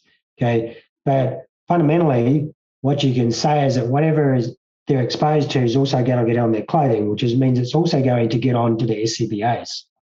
Okay. So this is going to lead us into a question that I'm going to pose to people about the designs of SCBAs, but it also leads to major questions about the designs of their protective clothing, okay, their tactics that, that they adopt inside.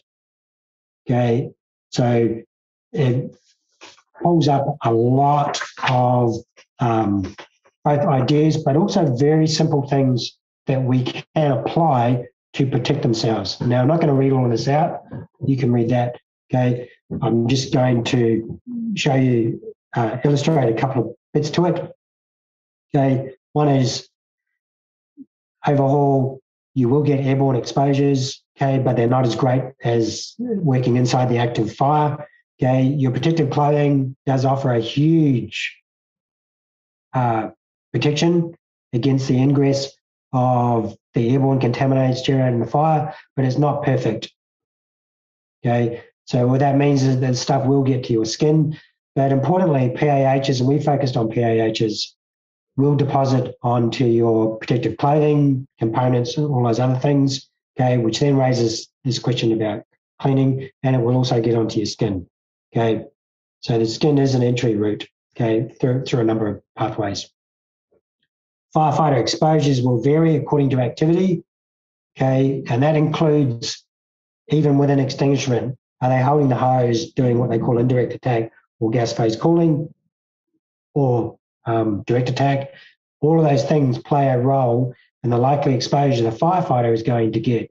Now, okay, if you're unwise, you will not wear SCBA. Now, even though the United States OSHA and that tell you that it's an IDLH environment. We clearly showed that's the case.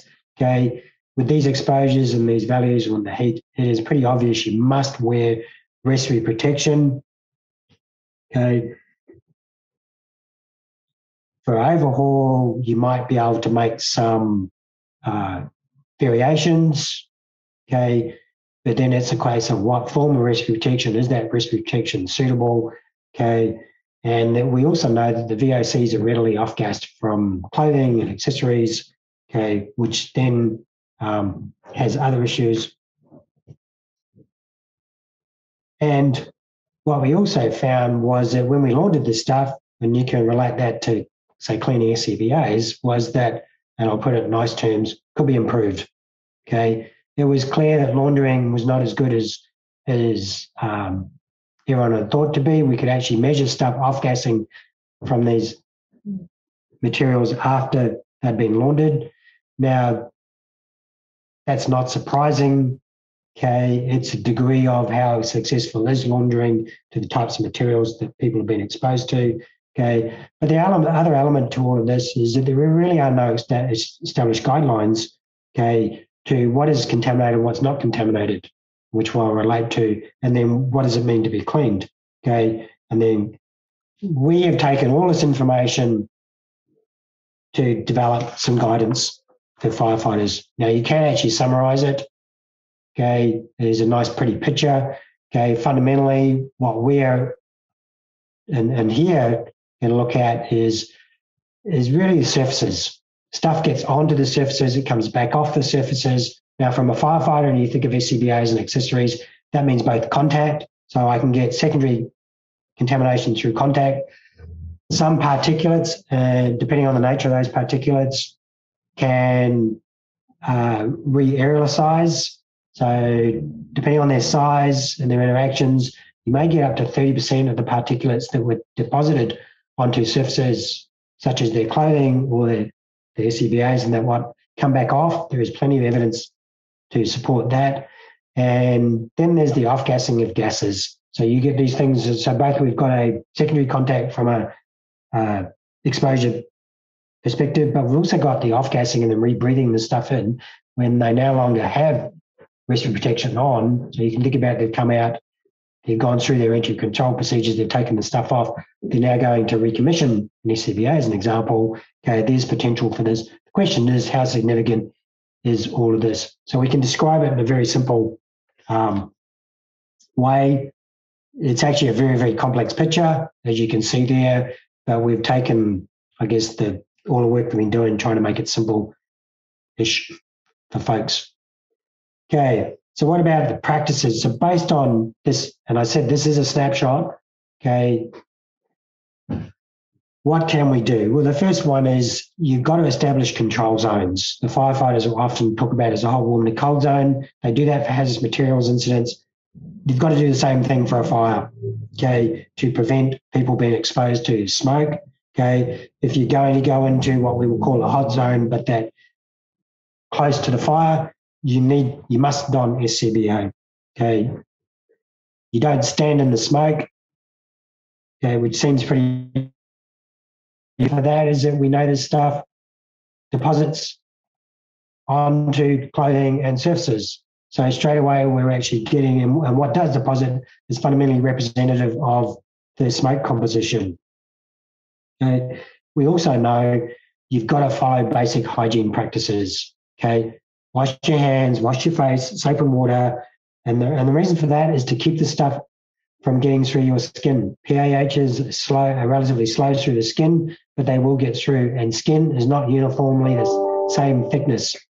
Okay, so depending on where it deposits on your skin, the rate at which it can go through will vary.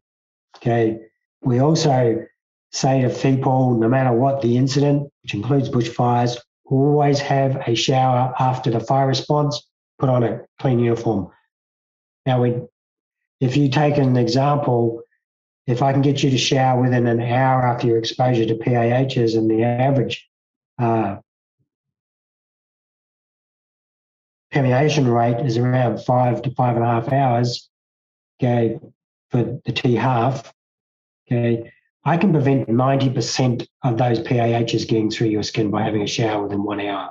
I can't get it to zero. The only way I can get it to zero is not have you be in there, which was part of our first rule.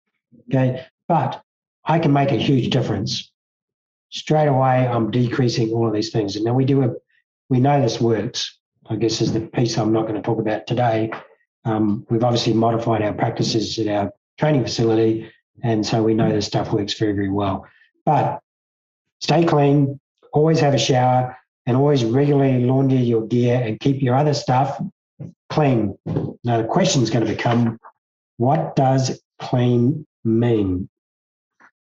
Okay, so it's all very well to uh, have a huge bunch of reports and publishing papers and all that sort of stuff and talking to firefighters, but we need to put it into some simple guidance. Okay, now here I've got given you a snapshot of a program we've been developing with the United States. Okay, it's free to all first responders and emergency responders. Um, it's called the ERDSS. Okay, but we actually provide firefighter guidance in there in two and and, and in this context, two ways. One about their skin, but also about selecting respiratory protective devices. And in some instances, we actually have information on the performance of the canister. So you can actually go through and choose what your likely exposure is or the chemicals you're going to be exposed to, okay, and then work out what sort of respiratory protection you require, okay, taking into the various rules what works and doesn't work.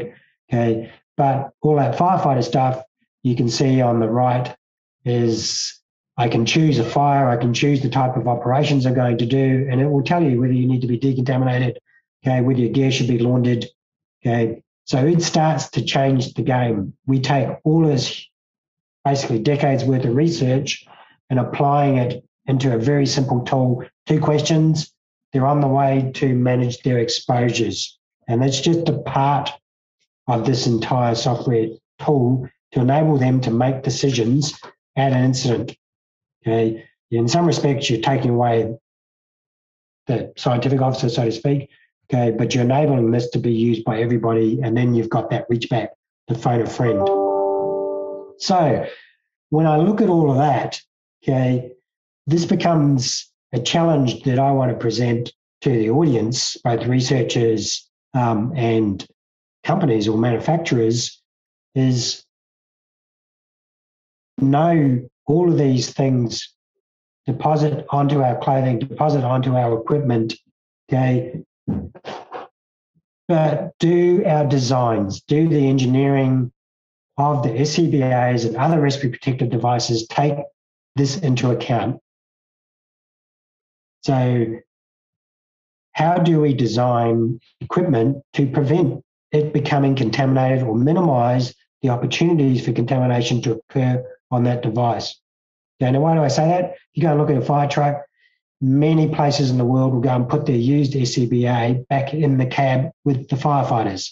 Or they'll go and put it, change your air cylinder, and it's ready to rock and roll. They may clean it once a year. Some places are, after every job, but the degree of cleaning and the frequency of cleaning varies a lot. But if I can design it so I don't have to clean it, then I'm in a much better space. And, I, and if I can understand the types of things they're going to deposit onto it, which is going to be metal oxides, you know, particulates, PAHs. Uh, some are looking at fire retardants. Some are looking at uh, some other interesting complex organics at the moment. Okay, but if you can start to design stuff that minimizes those opportunities to get onto the gear, then that makes cleaning yeah. Then the other question is, how do we clean it? So, what is the recommended method to clean this equipment? Okay, and what does clean mean?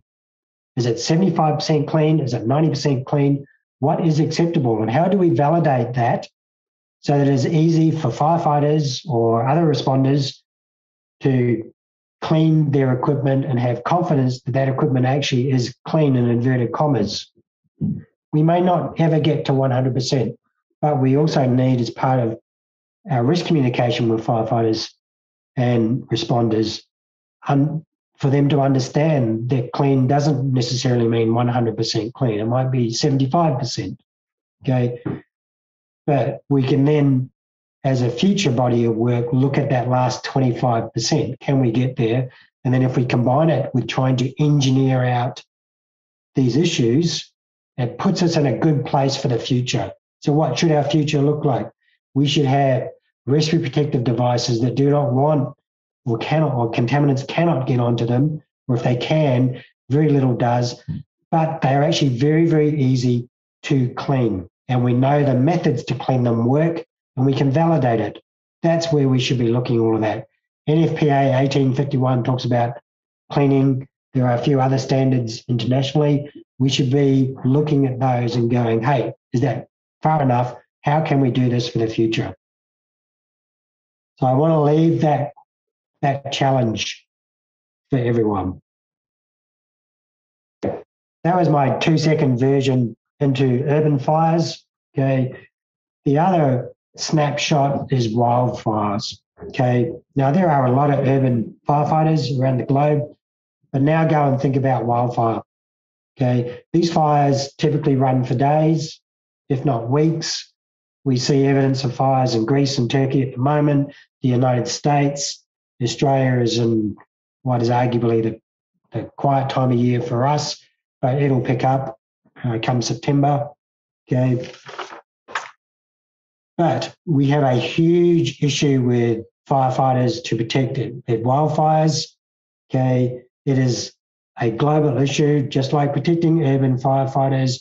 But you think about now what is available to protect wildfire firefighters. Okay, there is a recent standard in the United States that can be applied through the NFPA.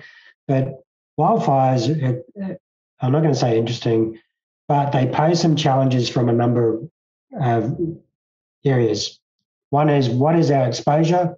So if I measure exposures here in Australia, do those results apply to the United States or Turkey or Greece or Portugal? Okay, so do their fires burn a little bit differently? The nature of the trees, are there some common contaminants that we can be sure turn up no matter where you are around the world? What are the contaminants of most concern? Okay, now you've got to combine that with the firefighter themselves. Okay, their age, their fitness, their hydration. These fires don't occur at 10 degrees, they're 30, typically 30 degrees plus. So it's hot. They're typically out there for a long duration. There are bouts of high physical exertion. All of these things, okay, lead to impacts on their exposures. And some contaminants, particularly carbon monoxide, are another risk factor when you add in to these to adverse health outcomes. So all of those things I just lined up uh, are all indicators of a risk for heart attack. And yet we know heart attacks are a big issue within the fire service, but we can start to relate these risk factors. If I can interfere with those risk factors, then I'm on a, a good a good pathway. So from our point of view in Queensland, we had this obvious question, okay, 10, 15 years ago, uh, well, yeah, 15 years ago, I'm getting old, okay, we had very little in the way of rescue protection that we could offer our rural firefighters and, and even urban firefighters that were dealing with wildfires. There were some ad hoc approaches, but we had very little understanding of the operational environment, what they did, how hard they worked, okay, what would be suitable, what would they accept, and what would not work. And could we get, I guess, the, the ideal solution, or were we going to have to get a solution that would have to become in stages? So, as I mentioned at the start, okay, we have uh, more than 10,000 full face respirators in our fire service at the moment, and we're going to go up to 16 or 18,000 with a commensurate turnover of canisters every year. So it's a huge logistics effort from that point of view. But this functionally is all about protecting our firefighters at wildfires. Okay. So I said, when I started in this organization, there were no full face respirators. Now we've got literally that sort of number. But how did we get there? Okay. So we took an approach where we needed to understand their exposure um, measurements. Okay. So we wanted to characterize their exposures. So what was being generated, what were they actually being exposed to? Because it was unlikely we could give them SCBA, we needed to understand what they did, how hard they worked. So we wanted to relate their respiratory rate to their work, to the types of combustion products they were exposed to. And then clearly, for those who are into the hygiene side of the house, we were going to use that information to look at occupational exposure limits. Could they be applied, not be applied? Could we develop some guidance or could we recalculate those exposure limits to suit this environment, which is exactly what we did. Okay. And then coupled with that is what sort of respiratory protective equipment would work, what would be acceptable for firefighters, what were the issues around providing it, training them, maintaining it, all those those little questions, which they seem like little questions, but they're actually very involved. Okay. And fundamentally, first rule is was respiratory protection required? Okay. And then what type? Now, this is not finished. This is the, all of these things are a journey. Okay. I'm not sure we'll ever get finished, but um, you know, I want to get pretty close to having the best understanding ever on all of the stuff. Because remember my objective, that safer community. Okay, so we are still to do PAH depositions on clothing and skin. We have some information. Um, it's on our list to do, but today I'm just going to talk about the um, the respiratory side of it here. Now, the biggest issue is not all the PAHs and per se, it's carbon monoxide. It is without a doubt carbon monoxide. And that poses a bit of a bit of a conundrum because everyone appreciates air purifying respirators, they're not typically intended for protection against ongoing exposure to carbon monoxide, particularly where the concentrations vary. Okay, you can see here we're getting up to 140 ppm. Our peaks were over 500 parts per million, which is one reason why we're giving the, the CO detector to our rural firefighters. Okay, but in this example here, you can see it goes all over the shop. As I said, we relate it to the, their activities. Okay, um, you can see here ignition is higher, extinguishing is higher, whereas patrolling and heavy smoke is, is, is high, okay, but less. But patrolling is a is a less physical exertion activity as opposed to extinguishing the fire. So we took all of this information, related their respiratory rates across a, a range of fires, their work, and have come back. We now have a guidance for our firefighters as to when to do stuff. We have a handle on um, what forms of respiratory protection to use. Okay, clearly we want the respirators or the canisters to offer very good protection against carbon monoxide. If you look at other contaminants as an example, here's VOCs. Okay, so this is generic volatile organics. Okay, the fire itself was uh, almost nothing.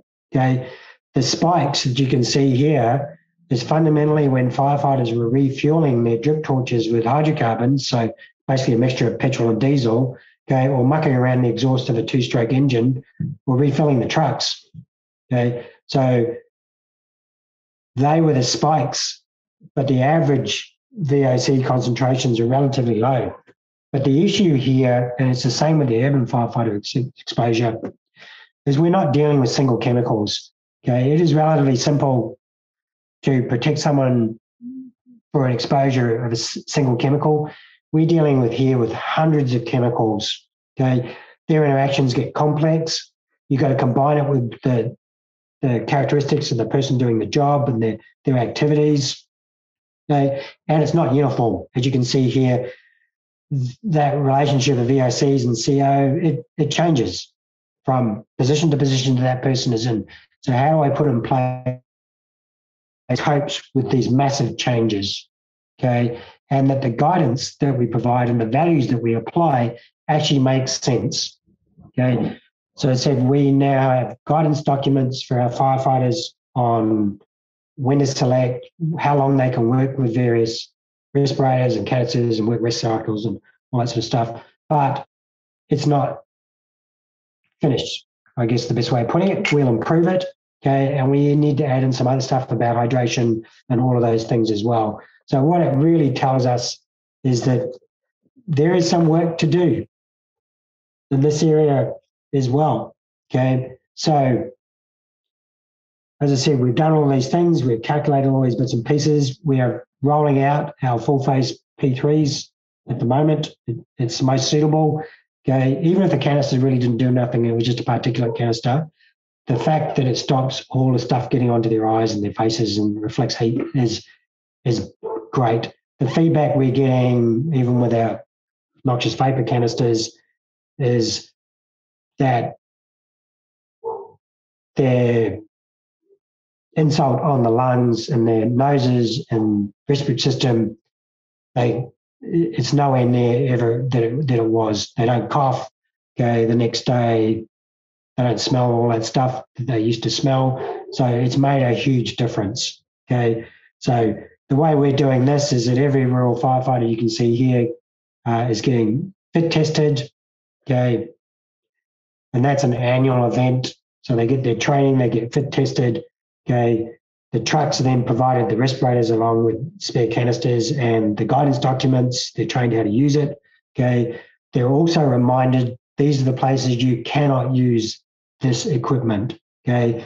They are provided a CO detector so that we have some magic lines in the sand for them to step back. Because what we found was that even if you were getting exposed to 500 parts or 600 parts per million carbon monoxide, if you just took literally a step back, half a meter back, that concentration would change significantly. So what we're trying to do is, is reduce those high exposures to carbon monoxide You've got to be realistic about it. Okay. We have a huge logistics training sustainment program that goes with this. Okay. You know, you're not talking about stations that are in the middle of your urban city. Okay. These stations vary from those on the edges to some, in, in, in a Queensland context, uh, are almost in the middle of nowhere. Okay. So water and all those things are precious commodities from that point of view. But we have to make it work. Across our one third of the United States response area, this system has to work for everybody. And that is a huge challenge for our organization to make that happen. But this is a massive effort. As I said, we're more than 10,000 at the moment. And I think we're, I think we're actually about 1,200 CO detectors at the moment. Okay. We're going to go up to about 2,800 CO detectors and somewhere near 18,000 APRs.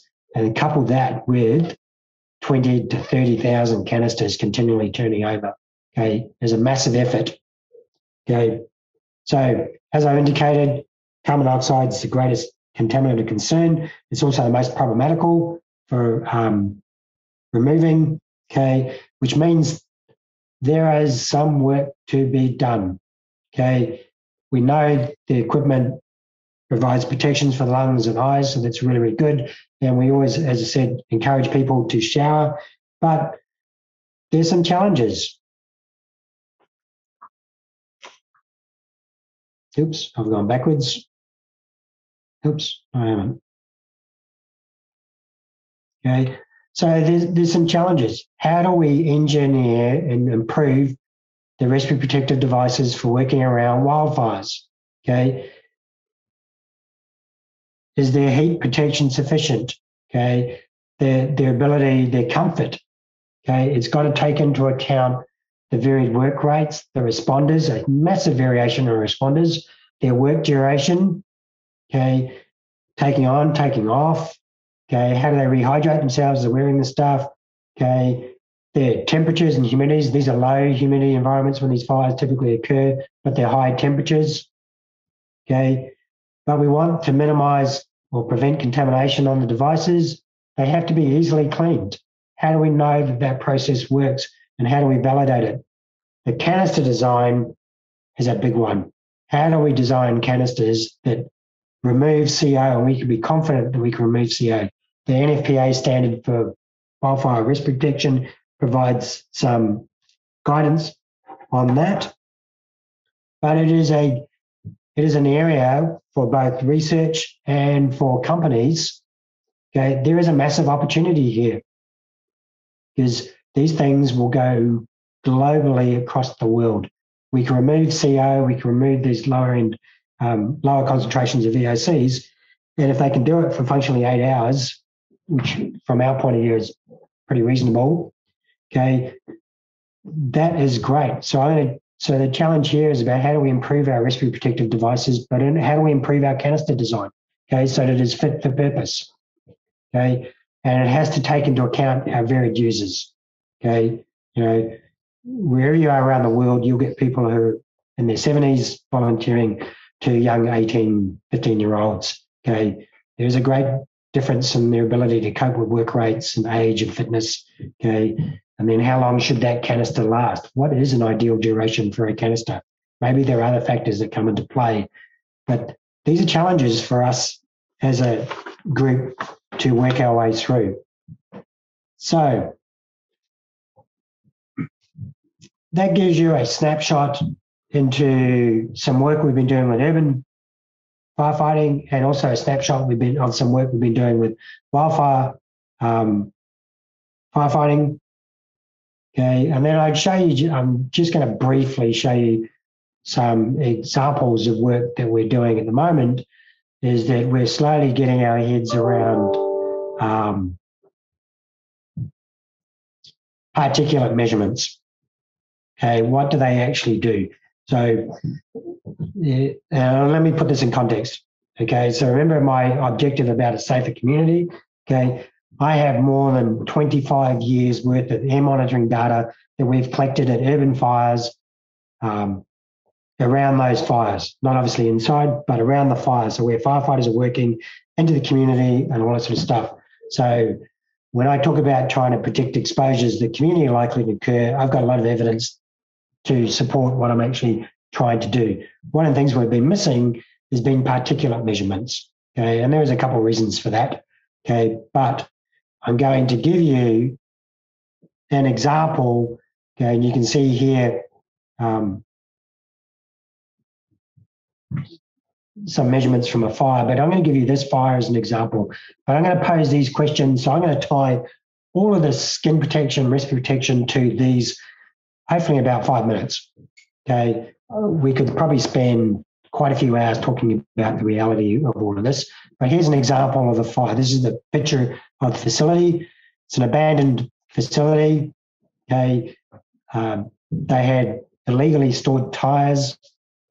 There was more than 12 tons of grease and other things sitting in there, which is one reason why it looks really good when it's burning. Okay, although it's in an urban environment, it's a semi-urban environment with new subdivisions, are water supply issues. Now we got to think about, okay, how do we characterize the exposures here? Are we doing it for now, so to protect people now, or are we doing it for future reference? Okay, and what sort of of that information are we going to use for respiratory protection? So, from all of this comes back to what's likely to be generated. So tire fires and grease are going to make PAHs, they're going to make VOCs, they're going to make CO, make sulfurated compounds. Basically, they're going to make a lot of stuff. So then I need criteria to apply. So what criteria do I apply? Okay. Do occupational exposure limits work? Do they work collectively? Not collectively. Okay. What guideline values are there for particulates?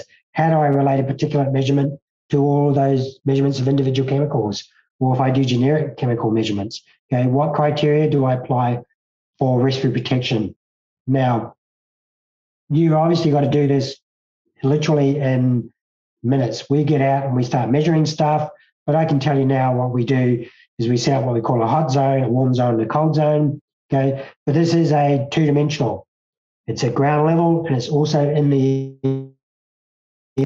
those firefighters are sitting or standing above those bits and pieces. So if you go into the hot zone, you must be in a SCBA.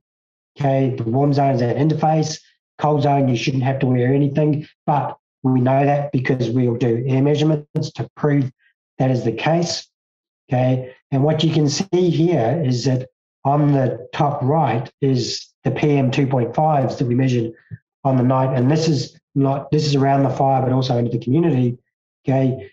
You can see here it spikes upwards of two milligrams per cubic meter. What we found is that when we look at all of this, basically 90, more than 90% of the particulates are less than PM1. Okay, which is, is quite interesting in itself. Okay. Now what values do we apply? Okay, because I'm looking at community protection a lot with these values on the on the top right of the screen rather than our firefighters.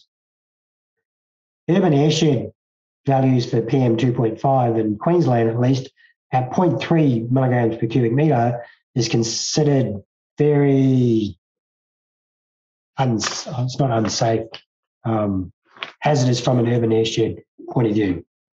You know, horrible air quality. Okay.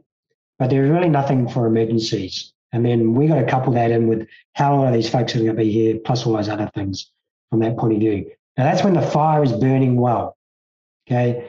On the next page, so you can see there's, in this case, this is examples of the spots that we actually measured at. Okay. There are multiple cycles that we measured through here. Okay. We measured VOCs, we measured a bunch of noxious gases, airborne elements, sulfur and nitrogen. Um, arsenics are usually relevant for these sorts of fires. Okay. But we repeated for basically over 12 hours, all this sort of stuff the, the reason once I had the fireground sorted, what I'm interested in is this community. Okay. So how long is this fire going to go for? Okay. How bad is it going to get? Are there at-risk community people? Okay. What are the what are their buildings like? So are their buildings resistant to ingress? Okay. What are the environmental conditions like? Are they going to change? Okay. So what criteria should we apply? Okay. When can they stay? So when is it safe? When can they shelter in place?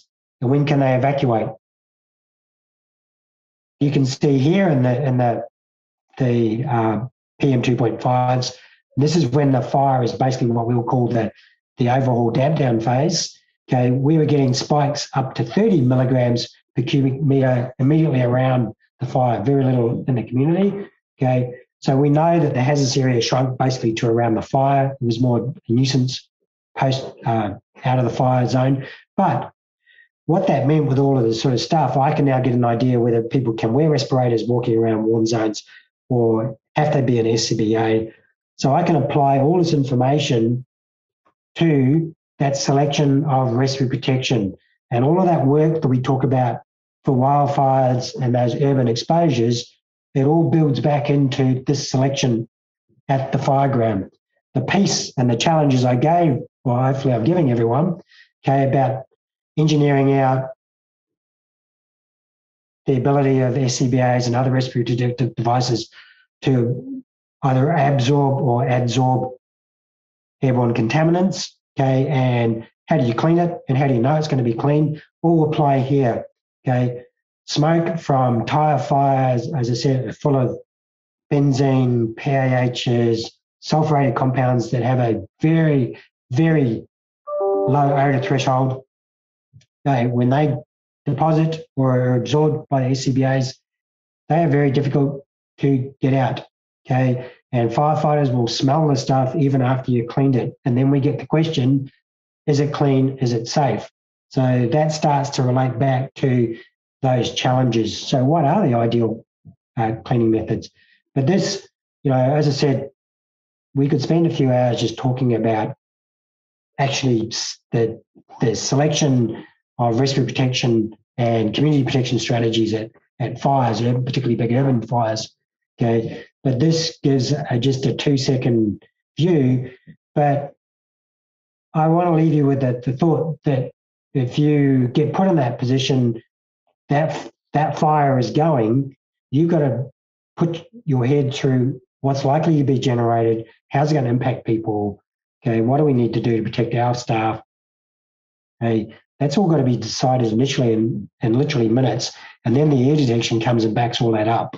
Okay. So that predictive cycle, as I said at the start, about a safer community, understanding all that work we've and data we've generated over the last 25 years feeds into this.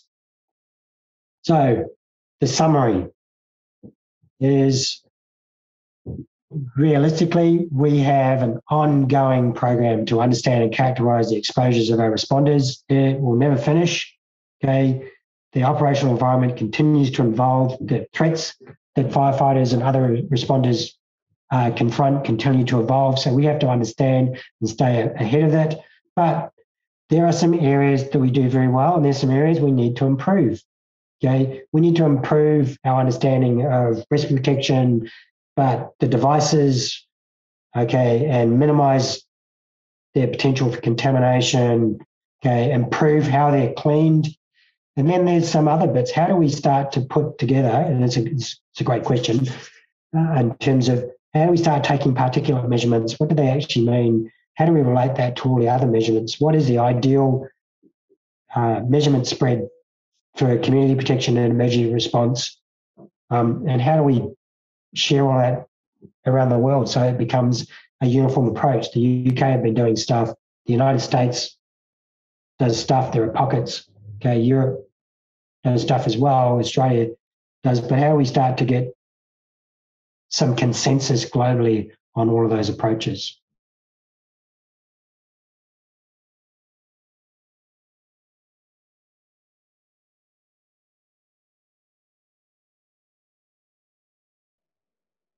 So, uh, just for everyone's benefit, because that was a recording we've already uh, indicated our great thanks to uh, Dr. Mike Logan. I hope you found that presentation very useful. Looking at the chat, uh, it's very much instigated a discussion around fit testing, which is great to see. And, and Karen, thank you very much for answering some of the questions.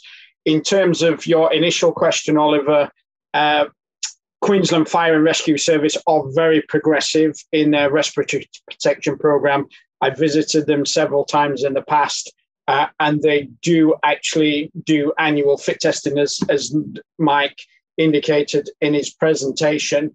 Uh, so, uh, in terms of UK service, I know some fire services do do fit testing, but I'm not sure if it's all because uh, the ones that I I've dealt with in the past have been quite specialist in terms of they, they have other responsibilities other than routine firefighting. So I'm I'm very happy to be involved in that conversation with Karen outside of this outside of this webinar, which again is is one of the one of the plus points of the webinar series that it's stimulating further discussion around uh, respiratory protection. So just to conclude the webinar, uh, just to go back to the, the final few slides, uh, if anybody has any further questions for Dr. Logan, he's very much kindly agreed to answer any questions offline. As I say, he sends his apologies that he can't be here today. So I'm happy whether you send them to myself or to uh, Mike Williams, the secretary of ISRP. We're very happy to forward those on to Dr. Logan and he will answer them in due course. So, as with all the presentations today, they will be on the section website uh, and we will put the answers to any questions that anybody has on there as well, along with the recording of today's session. So, just finally, uh, future webinars. There's a bit of a break as as we get towards the end of the summer. The next webinar is on confined space, the hidden hazard, on the 7th of October, where we will be having keynote presentations from speakers from 3M, ESS Safeforce and from Sanofi on the hazards of confined space from a respiratory protection perspective.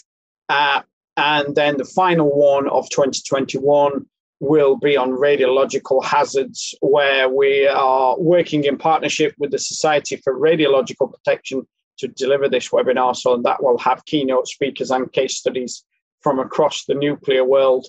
Uh, and just finally, to give people, we are looking at our 2022 program already. So if there's any ideas, themes, or volunteers for presenters that anybody can think of, uh, please contact myself or the secretary. The details are on the slide, will be on the slides, which everybody will get a copy of these. And with that, I'm very happy to conclude today's uh, webinar. I'd just like to say a big thank you to all our excellent presenters to Dr. Mike Logan, to Eric, uh, and to Claire for what I thought were exceptional presentations. Uh, and also thank you to all our attendees for, I hope you found today's webinar useful and uh, we look forward to seeing you again at, at a future event.